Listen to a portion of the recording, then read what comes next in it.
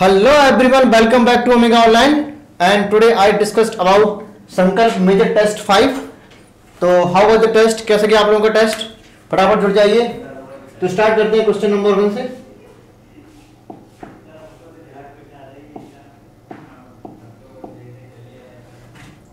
Which of the following feature does not belong to distinctive feature characteristic by living organism है ना? Living organism मतलब living when we uh, define the living organism ncrt say just five characteristics of living organism. That growth reproduction metabolism consciousness and cellular organization. Not only ये five characteristic of living organism but also कुछ life process भी होते हैं living के पास. जैसे self organization self recognition self replication and emergence तो याद रखिए growth reproduction metabolism consciousness cellular organize के साथ साथ आपके लाइफ प्रोसेस भी होती हैं. जैसे क्या कहते हैं self replication emergence and self recognition self replication ठीक है? तो कैरेक्टरिस्टिक ऑफ़ लिविंग ऑर्गन कितने होते हैं? पाँच। Growth reproduction metabolism okay consciousness consciousness and cellular organization cellular organization ये डिफाइनिंग है, ये नॉन डिफाइनिंग है। ठीक है? और प्लस ये आपके हो गए पाँच कैरेक्टरिस्टिक ऑफ़ लिविंग ऑर्गेनिज्म जो होते ही है main characteristic of living organism कुछ लाइफ प्रोसेस भी होते हैं, जो लिविंग ऑर्गेनिज्म के पास होते ही होते हैं, है ना? जैसे सेल्फ रेप्लिकेशन सेल्फ रेप्लिकेशन हो गया सेल्फ इमरजेंस हो गया, है ना? Emergence property self organization self organization self recognition and emergence okay तो एक, दो, तीन, चार, पाँच, चार, नौ। आज सिर्फ़ पाँच प्रॉपर्टी नहीं पढ़ेंगे, आज से आप पूरे नौ पढ़ो, ठीक है? तो आप देख लीजिए मेटाबॉलिज्म भी है सेल्फ रेप्लिकेशन भी इमरजेंस भी, है ना? तो are are the distinctive feature of living organism current does not belong to distinctive feature तो ऐसा कोई नहीं है नॉट बिलोंग है ना? सारे बिलोंग करते हैं। तो none fourth option will be correct next देखते हैं। Read the carefully and find out the correct statement from the given okay to an character of growth increase in mass and number of individual सही बात है? A multicellular organism grow by mitosis not meiosis है ना? तो multicellular हो चाहे unicellular हो grow by cell division मतलब ग्रोथ होते ही सेल डिवीज़न के द्वारा है। मेनली माइटोसिस मेनली कैसे माइटोसिस के द्वारा मेयोसिस के द्वारा ग्रो नहीं करते हैं। तो ये गलत हो गया आपका। Cell division occur in all the tissue replace loss cell देखिए सेल डिवीज़न आपकी होती किस लिए मेनली ग्रोथ के लिए। ठीक है? ग्रोथ के लिए। अब प्लांट में थ्रू आउट लाइफ और एनिमल में up to up to certain age है ना? लेकिन cell division throughout life होती है किसमें? एनिमल में। है ना? लेकिन वो ग्रोथ के लिए नहीं होता है रिपेयरिंग के लिए होता है। ठीक है? तो सेल डिवीज़न रिपेयरिंग के लिए ज़िंदगी भर होता है एनिमल में भी, लेकिन वो ग्रोथ के लिए नहीं रिपेयरिंग के लिए होता है। तो ग्रोथ सेल डिवीज़न अगर ऑल द टिश्यू नहीं है यहाँ पे रिपेयरिंग के लिए सारे टिश्यू में नहीं होता है है ना? रिप्लेस मतलब रिपेयरिंग की बात कर रहा है ये। रिपेयरिंग की बात कर रहा है। आर टिश्यू नहीं, कुछ टिश्यू में नहीं मोस्टली टिश्यू में नहीं होते, जैसे आपके हार्ट सेल ले लो, है ना? हार्ट सेल ले लो, आप ब्रेन सेल ले लो काफ़ी सेल ऐसी है उनके पास रिपेयरिंग की कैपेसिटी नहीं होती रिजन की कैपेसिटी नहीं होती है। तो आर नहीं होना चाहिए सम टिश्यू होना चाहिए यहाँ पे। एनसीआरटी की लाइन है ये। Cell division occur some tissue to replace loss cell तो आर की जगह सम लिखा है एनसीआरटी में तो ये गलत हो गया आपका। तो ये भी गलत, ये भी गलत। ओनली फ़र्स्ट इज़ करेक्ट तो करेक्ट ही पूछा था only a fourth option will be correct next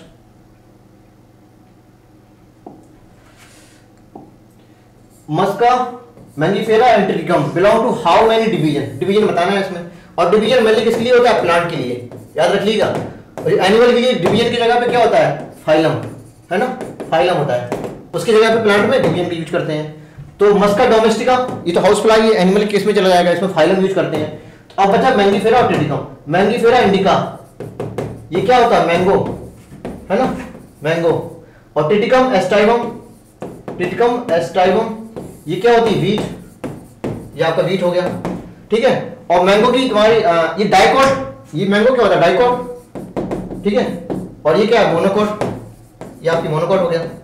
तो इसकी जो क्लास होगी डाइकोटिलिडनी और ये मोनोकोटिलिडनी मतलब क्लास क्लास लेवल पे तो डिफरेंट है, लेकिन ये इसका डिवीज़न एक ही होता है। जैसे के P C O F G S kingdom phylum class order family genus है ना? तो आपकी क्लास लेवल पे डिफरेंट है, ये। ऑर्डर लेवल भी डिफरेंट होते हैं फैमिली भी डिफरेंट है लेकिन क्लास डिफरेंट लेकिन फाइलम फाइलम की जगह यूज़ होता है डिवीज़न किसके? प्लांट की किसमें तो डिवीज़न क्या होता है? एनजियोस्पर्मी एनजियोस्पर्मी ठीक है? तो एंजियोस्पर्मी चाहे वो डाइकॉट हो और चाहे मोनोकॉट हो, दोनों के दोनों का डिवीज़न एक सेम ही होता है एंजियोस्पर्मी बोलते हैं। तो कितने division how many division only single angiospermae है ना? अगर इसका आंसर सेकंड होता, अगर ये ये डिवीज़न लिख देते या एंड फाइलमिक होता, है ना? तो सेकंड होता आंसर मतलब ये फाइलमिक डिवीज़न इस लेवल पे। तो इसका थर्ड ऑप्शन बिल्कुल करेक्ट मतलब first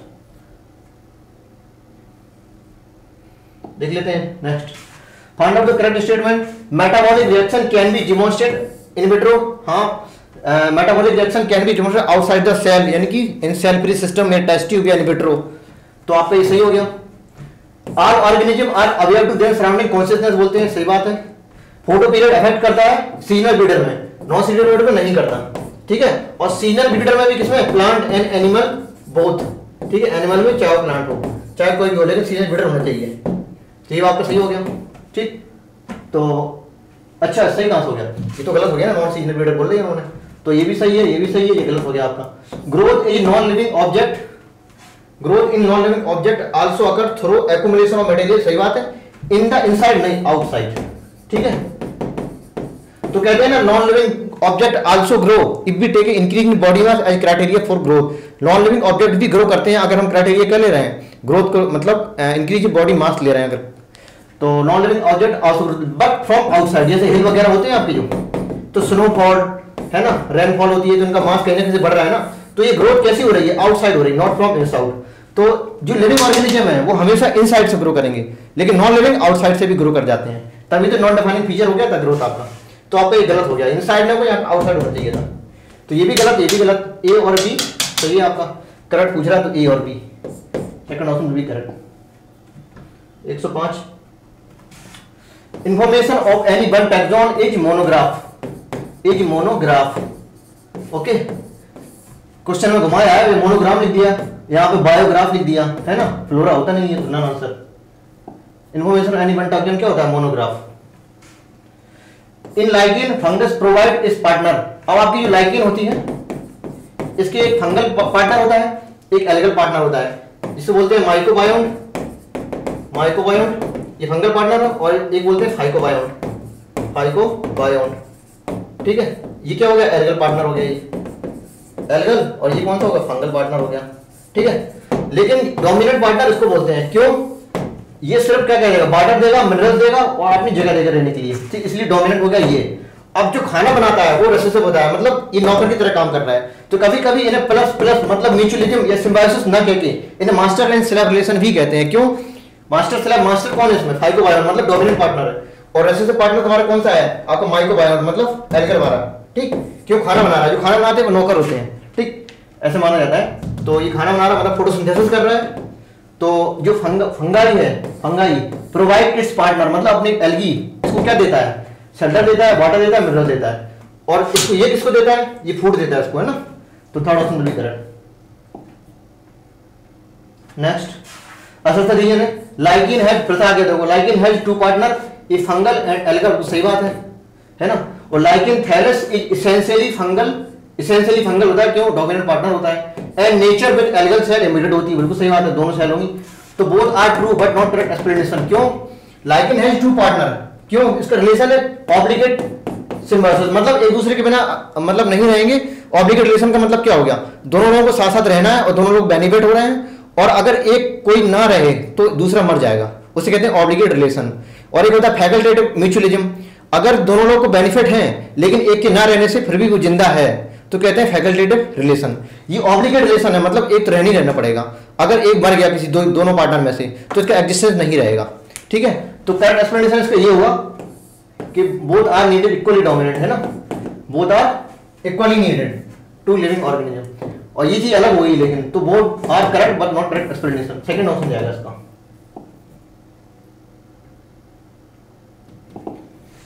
Which of the following organism are not include five kingdom classification?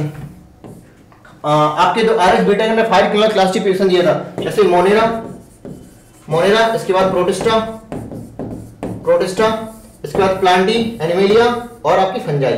ठीक है? ये फंजाई होगी ये प्लांट हो गया ये एनिमेलिया हो गया। ये फाइव किंगडम क्लासिफिकेशन में। इन्होंने जगह नहीं दी थी किसको? बैक्टीरियोफेज मतलब वायरस ये क्या है? वायरस तो है ना? वायरस को वायरस को लाइकन को और को। इनको जगह क्यों नहीं दी थी? क्योंकि ए सेलुलर थे। लेकिन सेलुलर लाइकन तो होता है सेलुलर सेलुलर होता है, लेकिन ये खुद का एग्जिस्टेंस नहीं है। एक्चुअली में lichen nothing is just a combination of algae and fungi है ना? तो एल्गी एल्गी इधर आती है और फंजाई इधर आती है तो इन दोनों का कॉम्बिनेशन है एक्चुअली लाइकिन ठीक है? और बाकी ये सेलर होते हैं। बैक्टीरियोफेज वायरस होता है सेल नहीं इसके पास। वायरस सिर्फ़ न्यूक्लिक एसिड होता है सेल नहीं इसके पास। प्रियॉन सिर्फ़ प्रोटीन होती है सेल नहीं इसके पास, है ना? तो five minute classification Whittaker Whittaker के फाइव मिनट क्लासिफिकेशन में इनको जगह नहीं मिली। किसको? वायरस वायरस को वायरस को लाइकिन को एंड प्रियॉन को। ठीक है? तो third option will be correct ये देख लीजिए चित्र दिया भाई। ये आपका एस्परजिलस है। ठीक है? एस्परजिलस है।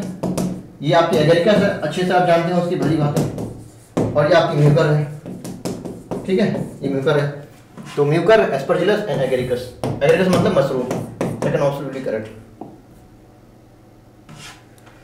potato spindle tuber disease किससे होती है? बायरॉइड से। ठीक है? बायरॉइड से। टीओडीनर टीनर डिनर 1971 ठीक है? पोटैटो स्पंडर टीवर डिसीज किससे होती है? Low molecular weight single strand RNA molecule ठीक? तो फ्री आरएनए है ना? देख लेते हैं मैचिंग है। Hot spring thermoacidophiles सार्टेरिया halophiles bacteria rigid cell wall और ब्लूम कौन करता है? सानो बैक्टीरिया मतलब एल्गल तुम्हारी एल्गल पंजाई सॉरी आपकी blue green algae cyano bacteria blue green algae तो आपका ये नॉस्टॉक एनामिना जैसे बोलते हैं तो ब्लूम करता है। वाटर बॉडी में ब्लूम करेगा ये। तो A H V A H V अच्छा one H V one H V one H V एक ही ऑप्शन में वन एच वी है, ठीक है? Two D C second option भी करेक्ट नेक्स्ट देख लेते हैं भाई। अच्छा ये सारे दिए आपके और पूछ रहा है कि are example of green plants है number of organism having pear shape motile gamete pear shape होना चाहिए और मोटाइल गैमेट होना चाहिए। तो पियर शेप देखो, सिर्फ़ ब्राउन एल्गी के पास होता था, है ना? ब्राउन एल्गी के पास सिर्फ़ पियर शेप होता था। अब इसमें एसेक्सुअल प्रोडक्शन होता था। एसेक्सुअल प्रोडक्शन होता है और सेक्सुअल प्रोडक्शन सेक्सुअल प्रोडक्शन में गैमेट बनेंगे, है ना? गैमेट बनेंगे और यहाँ पे आपके जूस पोर बनेंगे। जूस पोर तो इसके जो जूस पोर होते थे, कैसे होते थे? पियर शेप होते थे, ठीक? और अनइक्वल होते थे और लेटरल होते थे, ठीक? और दो होते थे, ठीक है? टू है अनइक्वल है लेटरल है, ठीक? और पियर शेप इसका उससे जो अनफॉर्चुनेटली गैमीट भी होता है सेम ऐसे ही होता है। कैसा? पियर शेप होता है। लेकिन एनसीआरटी ने मेंशन नहीं किया। जो फ्लैजला है, वो इक्वल है अनइक्वल है, कि लेटरल है, कैसे हैं? लेकिन बोला है कि मोटाज गैमीट होते हैं, लेकिन होते पियर शेप है। तो ये भी पियर शेप इसकी गैमिट भी पियर शेप ठीक? तो दोनों के आपके गैमिट और जूस फोर दोनों के दोनों कैसे हैं? पियर शेप ब्राउन एल्गी में। अब देख लो इसमें ब्राउन एल्गी के एग्जांपल कौन कौन से हैं। तो ये ग्रीन है यूथरस green algae green algae Chara green algae एक, दो, तीन, चार फोर हमारा रेड एल्गी है पॉलीसाइबोनेट रेड एल्गी है। तो वन टू थ्री फोर है ना? तो four second option will be correct laminaria अच्छा लेमिनेरन है। लेमिनेरन स्टोर फ़ूड होता है किसका? ब्राउन एल्गी का। Store food of brown algae store food of brown algae है ना? और सिर्फ़ यही नहीं लेमिनेरिन के साथ मेनिटॉल भी होता था। कह रहे हैं कि स्टोर फ़ूड है, वो ब्राउन लिखा तो इसमें, है ना? This food is store as complex carbohydrate alcohol only carbohydrate complex तो ये सही है आपका। पता कैसे? आपका अगर मेनिटॉल होता आंसर सिर्फ़ पूछा होता स्टोर फ़ूड और ब्राउन एल्गी तो आंसर आपका सेकंड होता। क्योंकि जो मैनिटॉल है, वो एक प्रकार का एल्कोहल होता है, वो तो कार्बोहाइड्रेट है, लेकिन एक प्रकार का एल्कोहल होता है वो। और कॉम्प्लेक्स कार्बोहाइड्रेट कौन होता है लेमिनेरन ठीक है तो ये आपकी लेमिनेरन लेमिनेरन क्या होता है? कॉम्प्लेक्स कार्बोहाइड्रेट और मैनिटॉल क्या होता है? मैनिटॉल एक प्रकार का एल्कोहल होता है, लेकिन होता कार्बोहाइड्रेट वो भी है। तो आपने इन्होंने खुद ही बोल दिया कि लेमिनेरन क्या है। तो कॉम्प्लेक्स कार्बोहाइड्रेट ओनली ना?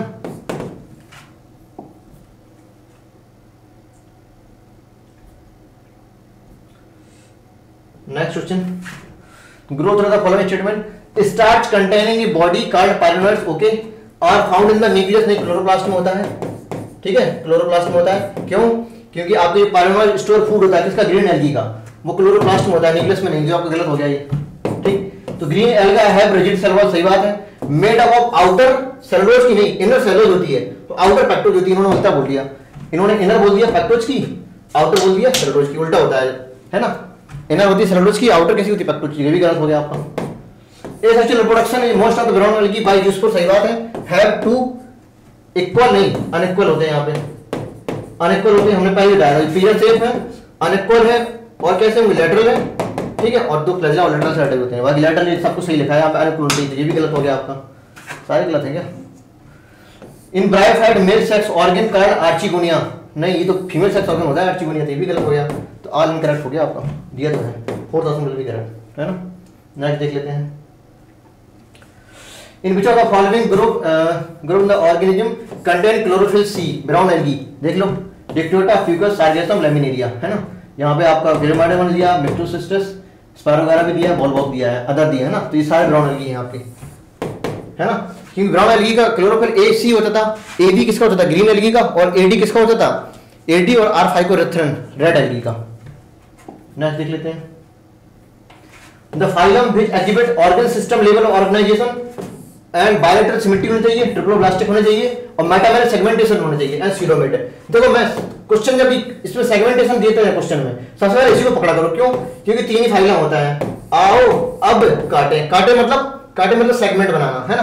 सेगमेंट बनाना, काटे मतलब। तो एनाडेटा आर्थोपोडा कोडेटा सिर्फ़ तीन बंदे लोग ऐसे हैं, तीन फाइलम ऐसे हैं, जिनके पास टू सेगमेंटेशन मतलब मेटामेरिज्म होता है। तो एनाडेटा आर्थोपोडा कोडेटा इसी से और अगर से तुम्हारा कॉन्सेप्ट ज़रूरत ही नहीं पड़ेगी ये भी हट गया एनाडेटा होता है सीलाटेंडा के पास नहीं, और मोलस्क के पास भी नहीं है ना? तो एनाडेटा आर्थोपोडा एंड कोडेटा। सिर्फ़ तीनों के पास क्या है मेटामेरिक सेगमेंटेशन और बाकी देख लो, अदर भी तुम्हारी बायोटर सिमेट्री भी होती है ऑर्गन सिस्टम लेवल ऑर्गेनाइजेशन भी है ट्रिप्लोब्लास्टिक भी है सीलोमेट भी है है ना? तो second answer single opening of mouth of anus found in देखो, आपकी जो डाइजेशन सिस्टम है, वो स्टार्ट हो जाता है प्लेटी हेलमिंथीस से। लेकिन इनकम्प्लीट डाइजेशन होता है प्लेटी में। क्यों? क्योंकि जब तक दो ओपनिंग ना हो, है ना? एनस अलग माउथ अलग टू ओपनिंग जिसे कहते हैं tube with tube body plan तो tube with tube body plan जब हो तो कहते हैं complete digestive system starting from aschelminthes लेकिन जो इसके पहले वाला मतलब प्लेटी हेलमिंथीज होता है, उसमें सिंगल ओपनिंग होती है. वही एनस है वही माउथ है. वहीं से खाएगा, वहीं से निकालेगा. इसे कहते हैं ब्लांड सेक बॉडी प्लान ठीक है? ब्लांड सेक बॉडी प्लान तो आपका जो प्लेटी हेलमिंथीज है इनकम्प्लीट डाइजेशन होता है, लेकिन सिंगल ओपनिंग होती है. इसलिए बोलते हैं इनकम्प्लीट डाइजेशन है ना? इनकम्प्लीट डाइजेशन इनकम्प्लीट डाइजेशन ठीक है एसके हेलमिंथीज कंप्लीट आएगा है ट्यूब विद ट्यूब इसे बोलेंगे tube with tube tube with tube body plan ठीक है? नेक्स्ट देख लेते हैं। एस्किडिस राउंडबम एंकाइलोस एम साइक्लोस्टोम क्या हुक्मा होती है? कॉर्गोनिया सीफेन सीफेन गया भाई? सीफेन हो गया। लिमलेस किंग्रैब आर्थोपोडा का बंदा है। किंग्रैब लिविंग फॉसिल्स बोलते हैं। एंटीडॉन हमारे लिली होता है है ना? सी लिली बोलते हैं अकाउंटर में डाक होता है सी लिली है ऑप्शन में, ठीक? तो ए सी ए सी काफ़ी ऑप्शन में B H E B G E तो आपका बी जी बी है three three D three D four A four A four A इधर है फोर ए इधर है थ्री डी भी है फाइव बी है ना? तो फाइव फोर थाउज़ेंड नेक्स्ट देख लेते हैं। अच्छा सा रीजन है the stamen of China rose mono monadelphous होता है सही बात है है ना? क्योंकि आपके जो स्टेमिन होते हैं, उसका स्टेमिन ही है आपका, ठीक है? एंथर ये फ्लामेंट है अगर इसके एंथर एक ही मतलब एक ही बंच में है, जो भी जितने भी हैं, अगर एक ही गुच्छा बना रहे हैं तो कहते हैं मोनोडेल्फस अगर आपके ऐसे ये गुच्छा ये बनाया और एक गुच्छा ये बना दिया इधर, ठीक है? अगर दो बंचेस में है तो कहते हैं डायडेल्फस ये आपको मिलेगा कहाँ? फेबेजी फैमिली मतलब पी में। ये मिलेगा चाइना रोज में। अगर काफ़ी सारे बना रहे हैं तो सिट्रोस में मिलेगा। इसे कहते हैं पॉलीडेल्फस कंडीशन ठीक? तो मोनोडेल्फस कहाँ मिलेगा? चाइना रोज में। सही बात होगी। बिकॉज़ फ्लोमेंट फ्लोमेंट मतलब सिर्फ़ ये वाले फ्यूज हैं ये फ्यूज नहीं होते एंथर तो अलग होते हैं। ये फ्यूज होते हैं ऐसे ऐसे करके। ठीक है? फ्यूज आपस में। तो filament is united into one bunch या वन बंडल सही बात है। And anther are three anther three सही बात। तो both are correct and explanation also first option will be correct next phylum annelida possesses CML and LML both are है ना? Circular muscle and longitudinal muscle दोनों होती हैं और locomotion में हेल्प करेंगी। रेस्पिरेशन नहीं लोकोमोशन में हेल्प करेंगी। Fourth option will be how many of animal among the jointed appendages मतलब आर्थ्रोपोडा देखना है है ना? आर्थ्रोपोडा के बंदे देखना है इसमें। तो देख लो बॉम्बेज मोराई आर्थ्रोपोडा है एपिस इंडिका आर्थ्रोपोडा है लिमुलस किंक्रिया बोलते हैं आर्थ्रोपोडा है सीपिया मोलस्का है, और ये भी मोलस्का है अर्थोपम एनल्डा है। तो वन टू थ्री ठीक है? आगे देख लेते हैं। Which are the following animal spiny body with coelomate spiny body आपकी कैनोडर्मेटा के पास मिलेगी, है ना? तो कैनोडर्मेटा के पास कैसा होता है? स्पिक्यूल्स होते हैं। स्पिक्यूल्स कैसे होते हैं? कैल्केरियस मतलब CO CO3 के, है ना? स्पिक्यूल्स होते हैं। मतलब इसके क्या बना होता है? एक्सोस्केलेटन मतलब कैरोटिड का जो एक्सोस्केलेटन होता है, वो स्पीक्यूल से बना होता है टेम्पलेस होते हैं। कैसे होते हैं? स्पाइनी तो देख लो इसमें कौन कौन है एस्टीरिया आपका सी स्टार होती है, ये भी है, ठीक है? एकाइनस सी सी अर्चिन होता है, ये भी आंसर है। और फिर स्टार बोलते हैं, ये भी आंसर है। है ना? तीनों बंदे किसके हैं ये? चीटो ये नहीं है। चीटो ठीक? तो one two three one two three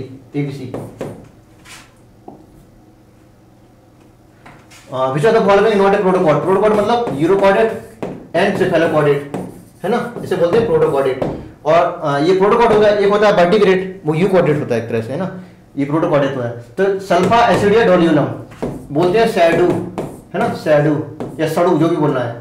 तो जो यूरोकॉडेट मतलब यू मतलब यूरोकॉडेट, सल्फा, एसिडिया डोलियोलम ये तीनों बंदे किसके हैं? यूरोकॉडेट के। यूरोकॉडेट क्या है? प्रोटोकॉडेट, है ना? तो सल्फा, एसिडिया डोलियोलम है ना? एस्टीरिया ये तो आपका ट्राउडर मेटा है नॉट अ प्रोटोकॉडेट नेक्स्ट देख लेते हैं। मुझे the following is not a true fish true fish कौन सी कटल फ़िश सीपिया बोलते हैं। मोलस्का का होता है। डेविल फ़िश ऑक्टोपस बोलते हैं। ठीक है? ये भी मोलस्का का बंदा है स्टार्क है। ये आपकी ट्रू फ़िश होती है कार्टिलेजिनस फ़िश बोलते हैं, ठीक है? कॉन्टेक्ट चीज़ तो नॉट ट्रू फ़िश तो ये भी ट्रू फ़िश नहीं है, ये भी ट्रू फ़िश नहीं है। नाम है फ़िश लगा है लेकिन तो फोर थाउज़ेंड भी कैरेट नेक्स्ट मैचिंग है। मार्जिनल प्लेसेंटल कहाँ मिलेगा आपका? पी मतलब फैबेसी में। ठीक है? Axile placental lemon China rose भी था, ठीक है? तो आपका ये हो गया। Parietal placental basic AC family आपका डायंथस एंड प्रेमरोस अच्छा डायंथस इधर आएगा डायंथस प्रेमरोस है। यहाँ पे आपका आएगा mustard and Argemone mustard Argemone लिखा है एनसीईआरटी में। तो पैराटल होगा ये भी सही। प्री सेंट्रल भी हो गया। प्रेमरोस एंड डायंथस भी है इसमें, ठीक है? इसमें मैरीगोल्ड एंड सनफ्लावर होता है। तो ये भी सही है। सारे आमने सामने, सारे सही है। तो one two three four A B C D one two three four A B C D है? पहला आंसर सही। Next how many the plant belong to trimerous family Liliaceae ठीक है ट्राइमेरस फैमिली लिलेसी होती है। कॉन्चिकम ऑटोमिलियस ग्लोरियस अच्छा कुछ दिए हैं। अच्छा इसमें देखना है। तो कॉन्चिकम भी लिलेसी का है? ग्लोरियस ऑर्नामेंटल होता है लिलेसी का होता है एस्पेरेगस वेजिटेबल यूज़ होता है, ये भी लिलेसी का है। तो वन टू थ्री पिटूनिया आपका ये ऑर्नामेंटल है, लेकिन ये लिलेसी का नहीं होता है। ये आपका सोलनेसी का ऑर्नामेंटल है। और ये फेवेसी का ऑर्नामेंटल है है ना? ल्यूपेन एंड सूट पी भी था वहाँ पे। तो ये नहीं है आपको, ये भी नहीं है। तो वन टू एंड थ्री थ्री लेसी के हैं। ये देख लेते हैं, ये क्या भाई? फ्लोर डायग्राम में। Find out the correct formula है किसके लिए फेवेसी के लिए, ठीक है? तो देखो एनसीईआरटी में आपकी तीन फैमिली दिए हैं। सबसे पहले दी आपकी फेवेसी फेवेसी इसके बाद सोलनेसी इसके बाद लोरेसी तीन फैमिली मैली दिए हैं। और इसके पहले आपकी दी कौन सी? क्रूसीफेरी या ब्रेसिकेसी यहाँ पर अलग से दी है ना, सिर्फ़ डिस्क्रिप्शन दिया इसका यहाँ पे। तो कहते हैं, पहली वाली फैमिली है, इसलिए जी दूसरी फैमिली वाली इसलिए जी और तीसरी वाली फैमिली इसलिए जी ठीक है? ये याद करने का तरीका है, कोई नियम नहीं है। आपकी तीन फैमिली है, पहली वाली, दूसरी, तीसरी और G one G two G three ये क्वेश्चन तुरंत पकड़ने में आ जाता है ऐसे बस याद करने का तरीका है कुछ नहीं। और इसके बाद जी टू होता है। अलग से याद रख लो। ठीक है? तो पहले से देगा जीवन वाला पकड़ो सबसे पहले। जीवन जीवन, ये नहीं होगा, ये भी नहीं होगा। अब इसमें देख लो कौन सा आंसर सही है। वायलेट तुम्हारी वायलेटर सिमेट्री मतलब तुम्हारा ये एक्नोमॉर्फिक नहीं होता तो आंसर गलत हो गया। तो पहले सही जाएगा, है ना? तो जाइगोमॉर्फिक फ्लावर बोलो, या बायोटेसिमिटी बोलो हर्माफ्रोडाइट और गैमोसेपलस मतलब जो सेपल है, पाँच होते हैं, लेकिन कैसे यूनाइटेड होते हैं? One plus two plus two मतलब आपके जो तुम्हारी वैक्सिलरी एस्टिवेशन होता है ना? Posterior vexillum two lateral wings anterior keel लेकिन जुड़े होते हैं। Nine plus two diadelphous condition दिख रही है यहाँ पे, देखो। है ना? स्टेमन कैसे हैं? नौ जुड़े हुए हैं और एक अलग है मतलब दो बंचेस में है। दो बंडल है मतलब डायडल कंडीशन और सुपीरियर ओवरी है विद यूनिलोकुलर एंड मोनोकार्पुलरी तो पूरा हो गया ये। यहाँ पे गलती क्या ईवीआर e नहीं है एक्टिनोमॉर्फिक नहीं होता है। बाकी सारे सही है है ना? बाकी सब सही है। तो पहला आंसर जाएगा इसका। Which of the following lateral branches originate from the basal underground portion of the main axis अच्छा देखो। देखो एनसीईआरटी में वेजिटेटिव प्रोपगेशन में कुछ चीज़ें दी हैं, लेकिन इनके नाम नहीं दिए लेकिन फिर भी हम बता दे रहे हैं।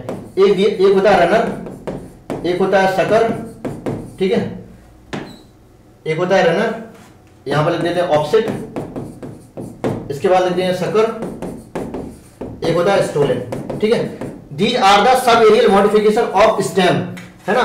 कैसे? वेजिटेटिव प्रोपेगेशन में। एक तरह के आगे वेजिटेटिव प्रोपेगेशन के स्ट्रक्चर हैं, जो sub aerial modification of stem होते हैं, और एनसीईआरटी में इनके नाम नहीं दिए हैं, लेकिन इसके लैंग्वेज में लिखा गया है। इसमें आपकी ग्रासेस एग्जांपल में ग्रासेस है, और स्ट्रॉबेरी भी दिया है, ठीक? ऑफसेट में आप पिस्टिया कॉर्निया है पिस्टिया भी दिया है कॉर्निया भी दिया है, ठीक है? और सकर में आपका सकर में ये सारे हैं बनाना पाइनएप्पल क्राइसेंटम ठीक है? ये सकर की डेफिनेशन लिखी ऊपर।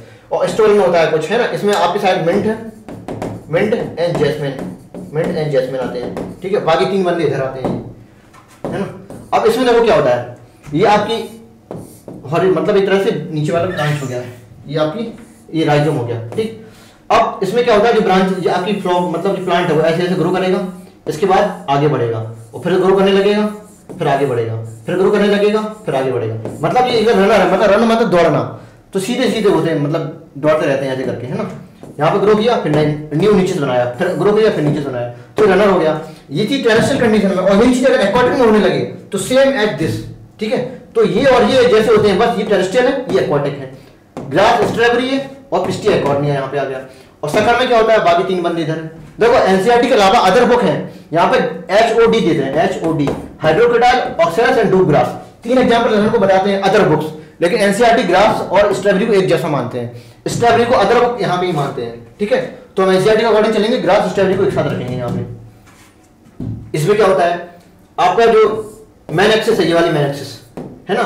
ये आपकी नीचे ग्रो मतलब ज़मीन के अंदर ग्रो करेगी और ऊपर निकलेगी और फिर से यहाँ पे नया प्लांट बना देगी। फिर नीचे ग्रो करेगी, फिर ऊपर निकलेगी, फिर एक नया प्लांट बना देगी, ठीक? जो चीज़ें हॉरिजेंटल में मतलब ज़मीन के नीचे हो रहा है और यही सेम काम यहाँ ऊपर होता है ज़मीन के, ऐसे करके। ये मैन एक्सेस है ऊपर ग्रो किया, नीचे आया, फिर ग्रो कर दिया। ऐसे करके लीप बन गई यहाँ पे, ठीक? फिर ऊपर आया, फिर नीचे गया, फिर लीप मतलब ये काम ऊपर वाला, वही काम यहाँ नीचे होता है, ठीक? और ये दो एक जैसे होते हैं। ये टेस्टेड कंडीशन में या कंडीशन में, ठीक? तो मैंने ज़्यादा बता दिया फ़िलहाल। कह रहा है lateral branch originate from the base lateral branch from the from base underground portion मतलब ज़मीन के अंदर वाला है। Main axis grow horizontally main axis जो होती है grow horizontally and the beneath the लिखा है beneath the soil यहाँ से पकड़ो इस चीज़ को beneath the soil and comes out obliquely है ना नीचे oblique मतलब तिरछा ऊपर आते हैं ऐसे करके and leaf shoot है ना leaf shoot बना देता है यहाँ पे तो क्या होता है शक्कर होता है एग्जांपल बनाना पैरासेंटम ग्रासेंटम है ना बनाना पाइनएप्पल ग्रासेंटम 4000 रुपए कैरेट ज़्यादा टाइम ले लिया इसमें मैंने आगे बढ़ते हैं कॉलम एपीफिलस एपीपेटलस अगर तुम्हारे एंड्रोसियम है स्टेमिन है अगर बगल वाली कोरोला में लगे हैं पेटल में लगे हैं तो बोलते हैं एपीपेटलस ये मिलेगा सोरेनेसी कंपोजिटी ठीक है और आपकी मार्बिसी तीन जगह मिलेंगे ये लेकिन आप ये सिलेबस में नहीं है इसको हटाओ ठीक है? सोरेनेसी याद रखो आप बस। तो ये आपको सही हो गया। एपीपेटलस क्या होता है? अगर कैलिक्स और कोरोला एक जैसे हों, जिसे बोलते हैं पेरियंथ जहाँ पेरियंथ हो गया। अगर एंड्रोसियम इस पे अटैच हो रहे हैं तो इसे बोलते हैं एपीफिलस बोलो या एपीटेपलस बोलो। ठीक? ये एपीपेटलस है, ये एपीटेपलस होता है। या एपीफिलस दोनों की एक ही चीज़ होती है। तो लेसिम होता है, ये भी सही है, ये भी सही है। मोनोडाक्टिस चैमरोस में होता है, ये भी ठीक है। डायडार्पस फेवेसी होता है एग्जांपल पी होता है पी दिया है इसमें, ये भी ठीक है। पॉलीडार्पस सिट्रोस में होता है, ये भी ठीक है ना? तो 1 2 3 4 सारे सही है। 1 2 3 4 1 2 3 4 है ना? थर्ड उसमें भी करें। नेक्स्ट देख लेते हैं। Arrange the different zone of the root from distal to proximal आपकी अटैचमेंट से दूर वाला। अब प्रॉक्सिमल क्या होता है? तो अटैचमेंट के पास हो, पाप और पास, पाप और प्रॉक्सिमल ठीक है? वो अटैचमेंट मतलब ये अटैचमेंट अटैचमेंट से दूर हो तो दाफोर दूर दाफोर डिस्टल ठीक है? तो दाफोर दूर दाफोर डिस्टल और अटैचमेंट के पास है, पाप और पास, पाप और प्रॉक्सिमल तो प्रॉक्सिमल ये है और डिस्टल है। और सिर्फ़ यहाँ पे नहीं, हर जगह ये पूरी बायोलॉजी में हर जगह रूल होगा। डिस्टल और प्रॉक्सिमल देखना हो तो जो दूर वाला है वो डिस्टल है, वो जो अटैचमेंट के पास वाला है, वो प्रॉक्सिमल है। जैसे आपका ये वाला देख लो, ये है, ये आपका एंथर हो गया, ये स्टेमिन हो गया। तो यहाँ पे अटैच होता है, ठीक है? किससे थैलेमस से। तो अटैचमेंट के पास वाला क्या होगा? मतलब फिलामेंट कैसा है? प्रॉक्सिमल और ये कैसा है? डिस्टल है ना? तो एंथर कैसा होता है? डिस्टल मतलब अटैचमेंट से दूर है। अटैचमेंट के पास वाला इस फिलामेंट तो ये कैसा प्रॉक्सिमल तो आपकी ये पोजीशन कैसी है? प्रॉक्सिमल मतलब फिलामेंट की पोजीशन कैसी होती है? प्रॉक्सिमल और एंथर की पोजीशन कैसी होती है? डिस्टल क्यों? दापोर दूर दापोर डिस्टल किससे दूर? अटैचमेंट से दूर। पापोर पास और पापोर प्रॉक्सिमल किससे दूर? अटैचमेंट से पास, है ना? किससे पास? अटैचमेंट से पास। तो ये रूल हर जगह अप्लाई होता है। तो फ़िलहाल इसको हम हटा देते हैं ना? अब देख लेते हैं, यहाँ पे सबसे पहले रूट कैप होता है। कह रहा है कि डिस्टल टू प्रॉक्सिमल मतलब नीचे से ऊपर जाना है। सबसे पहले रूट कैप मिलेगा, इसके बाद मैरिस्टेमेटिक सेल फिर इलोंगेशन फिर मैचुरेशन ठीक? तो root cap meristematic cell root cap root cap meristematic meristematic इसके बाद इलोंगेशन यहाँ मैचुरेशन मैचुरेशन यहाँ से निकलेगी रूट हेयर ठीक? सेकंड ऑप्शन भी correct naked seed naked seed मतलब ये जिम्नोस्पर्म की बात कर रहे हैं। ठीक है जिम्नोस्पर्म की। प्लांट ब्रिज चीप वाटर कंडक्टिंग क्या होता है? अब बेसल्स तो होती नहीं है। वैसे चीप वाटर कंडक्टिंग बेसल होता है लेकिन वो एंजियोस्पर्म होता है। ये जिम्नोस्पर्म पढ़ रहा है इसमें बेसल एब्सेंट होती है। तो इसकी जगह पे क्या है? ट्रैकीड्स मैथ कंडक्टिंग एलिमेंट ठीक? कह रहा है सुबराइज क्या होगा suberin layer are found in suberin layer कहाँ होती भाई? कैस्पियन स्ट्रिप में होती थी है ना? और कैस्पियन स्ट्रिप कहाँ होती है? इंडोडर्मिस में। कहते हैं, देखो कॉर्टेक्स के तीन पार्ट होते हैं। आउटर कॉर्टेक्स को बोलते हैं हाइपोडर्मिस और एक मिडल कॉर्टेक्स जिसे बोलते हैं कॉर्टिकल लेयर और एक होता है इनर कॉर्टेक्स जिसे बोलते हैं इंडोडर्मिस यानी कि हाइपोडर्मिस कॉर्टिकल लेयर और इंडोडर्मिस तीनों को टुगेदरली कहते हैं कॉर्टेक्स ठीक है? Outer cortex middle cortex inner cortex तो इनर कॉर्टेक्स मतलब इंडोडर्मिस के पास होती है कैस्पियन स्ट्रिप जो बनी होती है सुबेरन की, जो कि इम्परमेबल टू बाटर होती मतलब वैक्सी लेयर होती है। जो कंट्रोल पॉइंट बनती है किसके लिए? वाटर एंड मिनरल्स के लिए। ठीक है? एंड बैरियर भी तो सुबेराइल लेयर कंजेक्टिव टिश्यू नहीं कैस्पियन स्ट्रिप में होती है। Innermost layer of outer cortex अच्छा inner most layer of cortex हाँ ठीक है। इनर मोस्ट लेयर कॉर्टेक्स मतलब किसकी बात कर रहे हैं? इंडोडर्मिस की बात कर रहे हैं। इंडोडर्मिस की बात कर रहे हैं। ठीक है। तो आपका वो two and three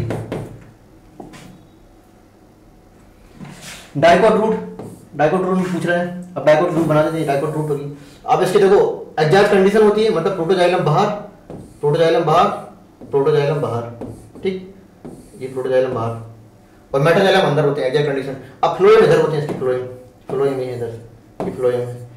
ये फ्लोएम इधर। तो कहते हैं कि प्रोटोजाइलम के बाहर वाला, प्रोटोजाइलम के एबव ये वाला पोर्शन ठीक है? ये वाला पोर्शन ये वाला पोर्शन और ये वाला पोर्शन ठीक?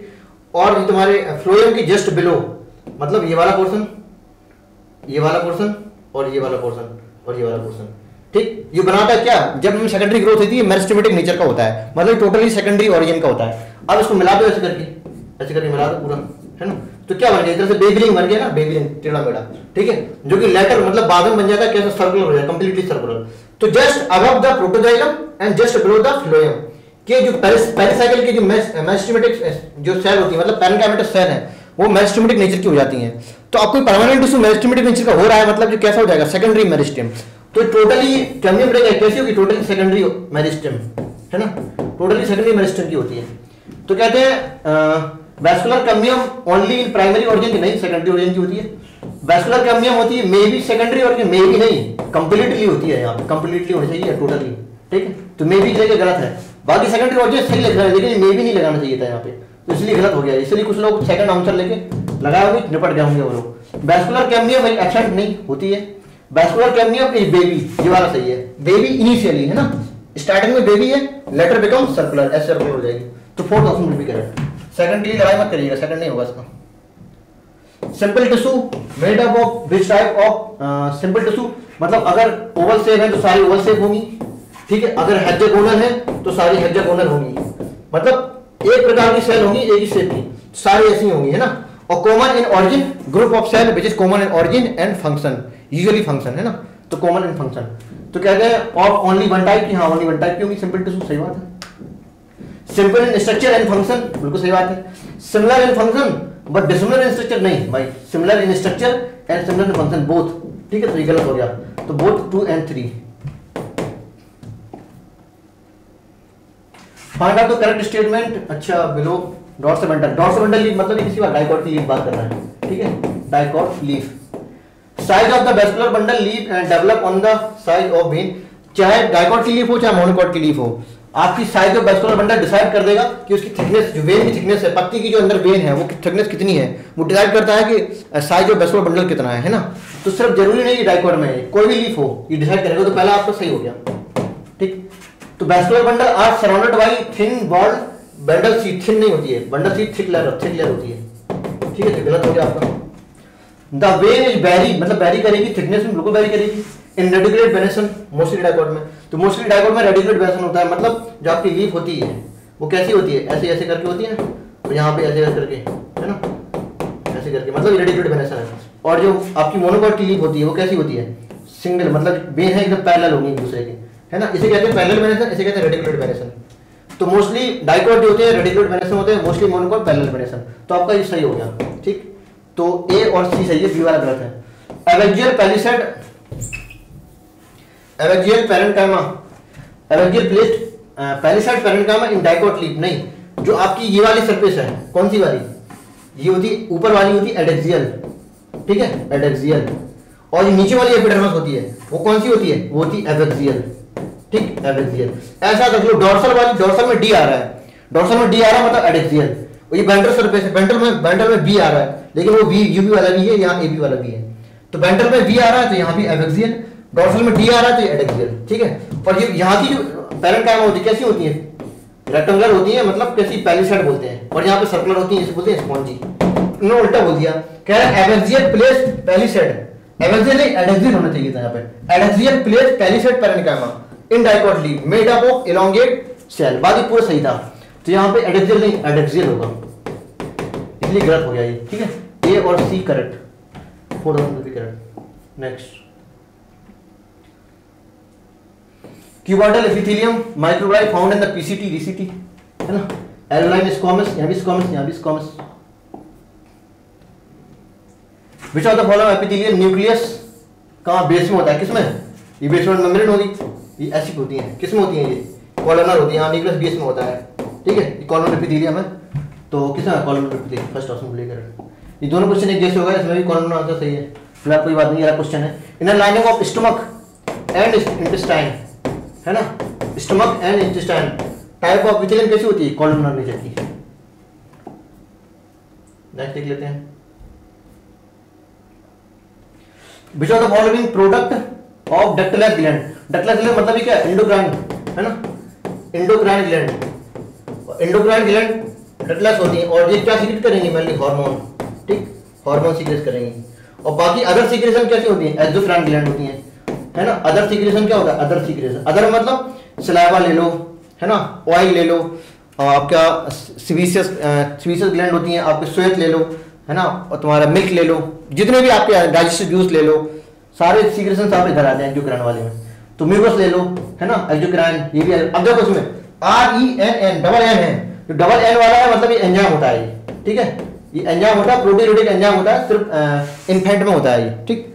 और एक होता है R E N I N ये आपका हार्मोन है रेनिन हार्मोन ठीक है? तो सिंगल एन वाला हार्मोन है और डबल एन वाला एंजाइम है।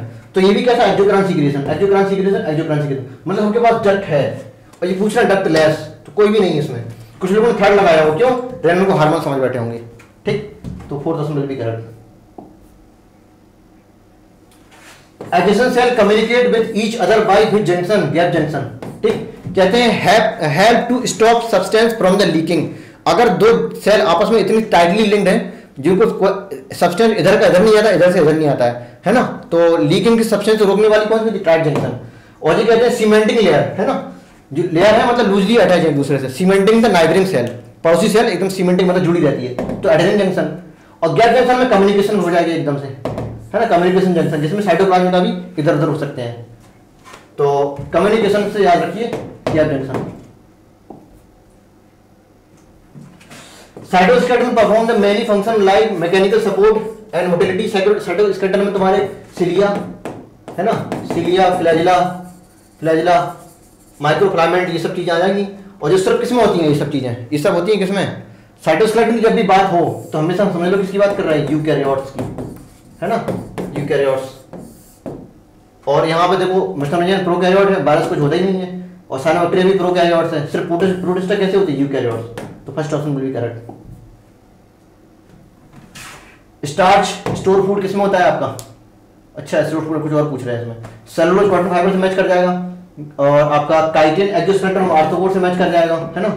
और ग्लाइकोजन आपकी इधर आएगा लीवर में, है ना? लीवर सेल में स्टोर होता है। और स्टार्च क्या? पील्ड पोटैटो पील्ड पोटैटो में क्या स्टार्च ज़्यादा होती है? तो H four H four H four B से रिज़ल्ट हो जाएगा बीज वन या बीज थ्री बोलो बीज one C H three D H two है ना? Second option B correct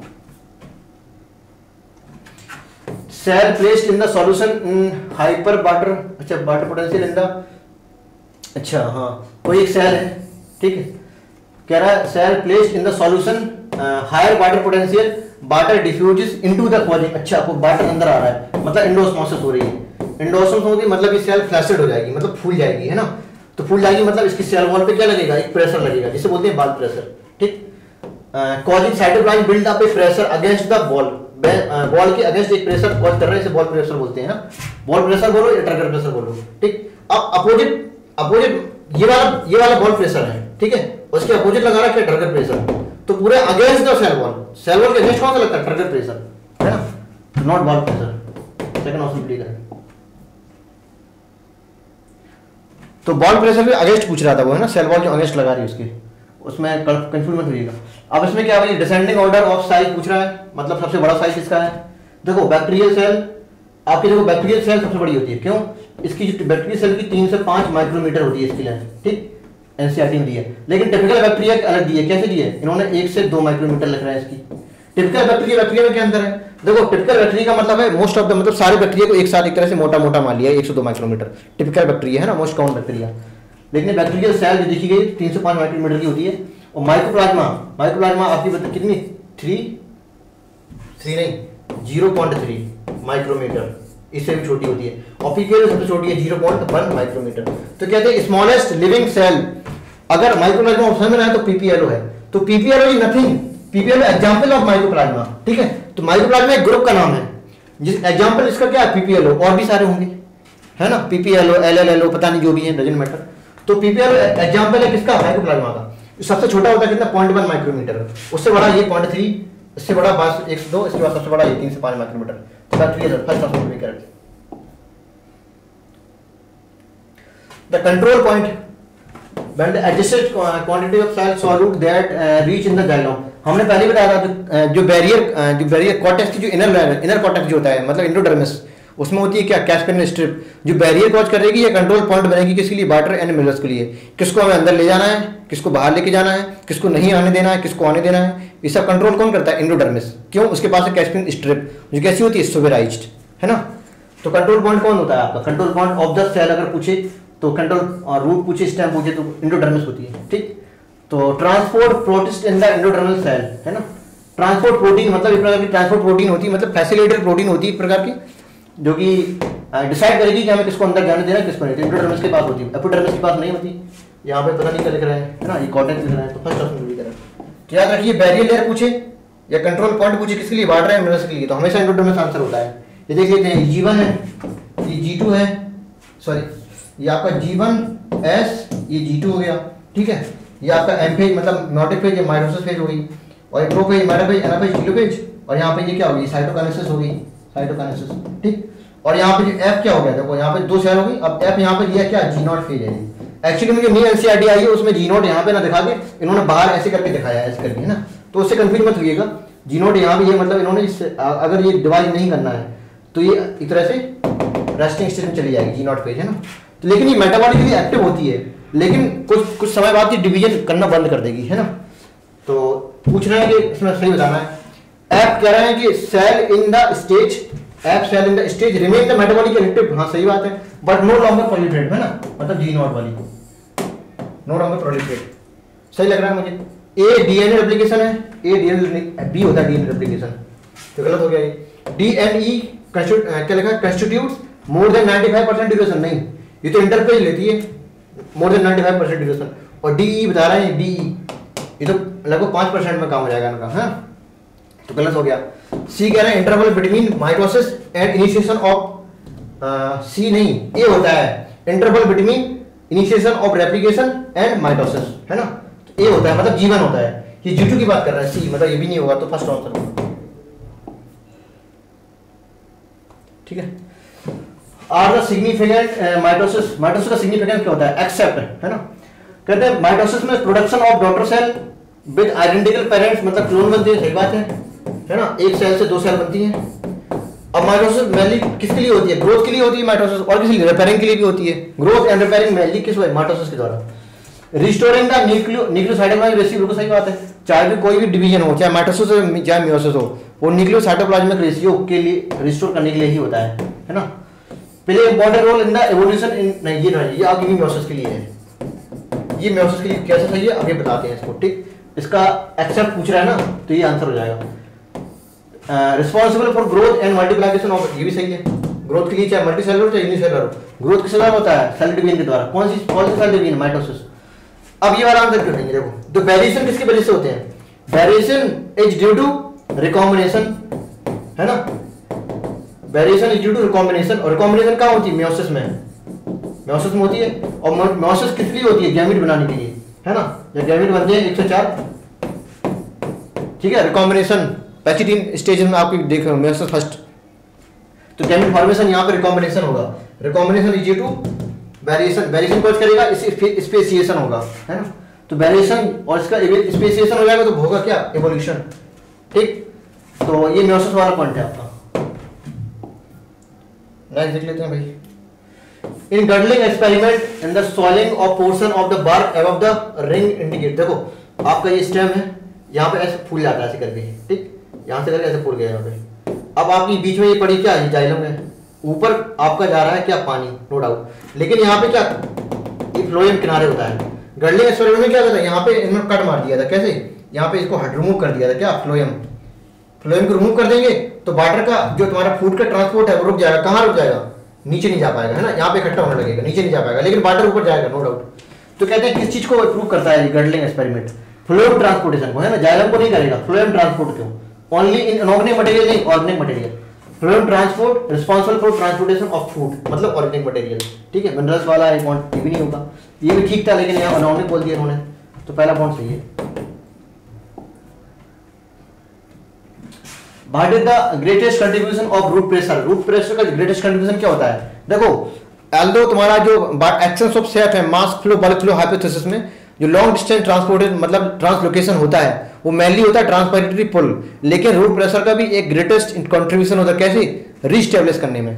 अब जैसे पानी ऊपर चढ़ रहा है, ये पाइप है मतलब जाइलम है, पानी ऊपर चढ़ रहा है तो ऊपर से सेंसर प्रेशर लग रहा है मतलब खींच रहा है. कौन सा? ट्रांसपेरेटरी पुल ऊपर क्या लग रहा है? ट्रांसपेरेटरी पुल ट्रांसपेरेटरी पुल लग रहा है ऊपर से नो डाउट लेकिन नीचे से धक्का भी लग रहा है, धक्का कौन दे रहा है? मतलब रूट प्रेशर दे रहा है. तो ऊपर से खींचना और नीचे से धक्का देना, दोनों सपोर्ट करेगा। मतलब ये रीस्टेबलाइज करता है रूट प्रेशर किसके लिए? ट्रांसलोकेशन के लिए रीस्टेबलाइज है ना?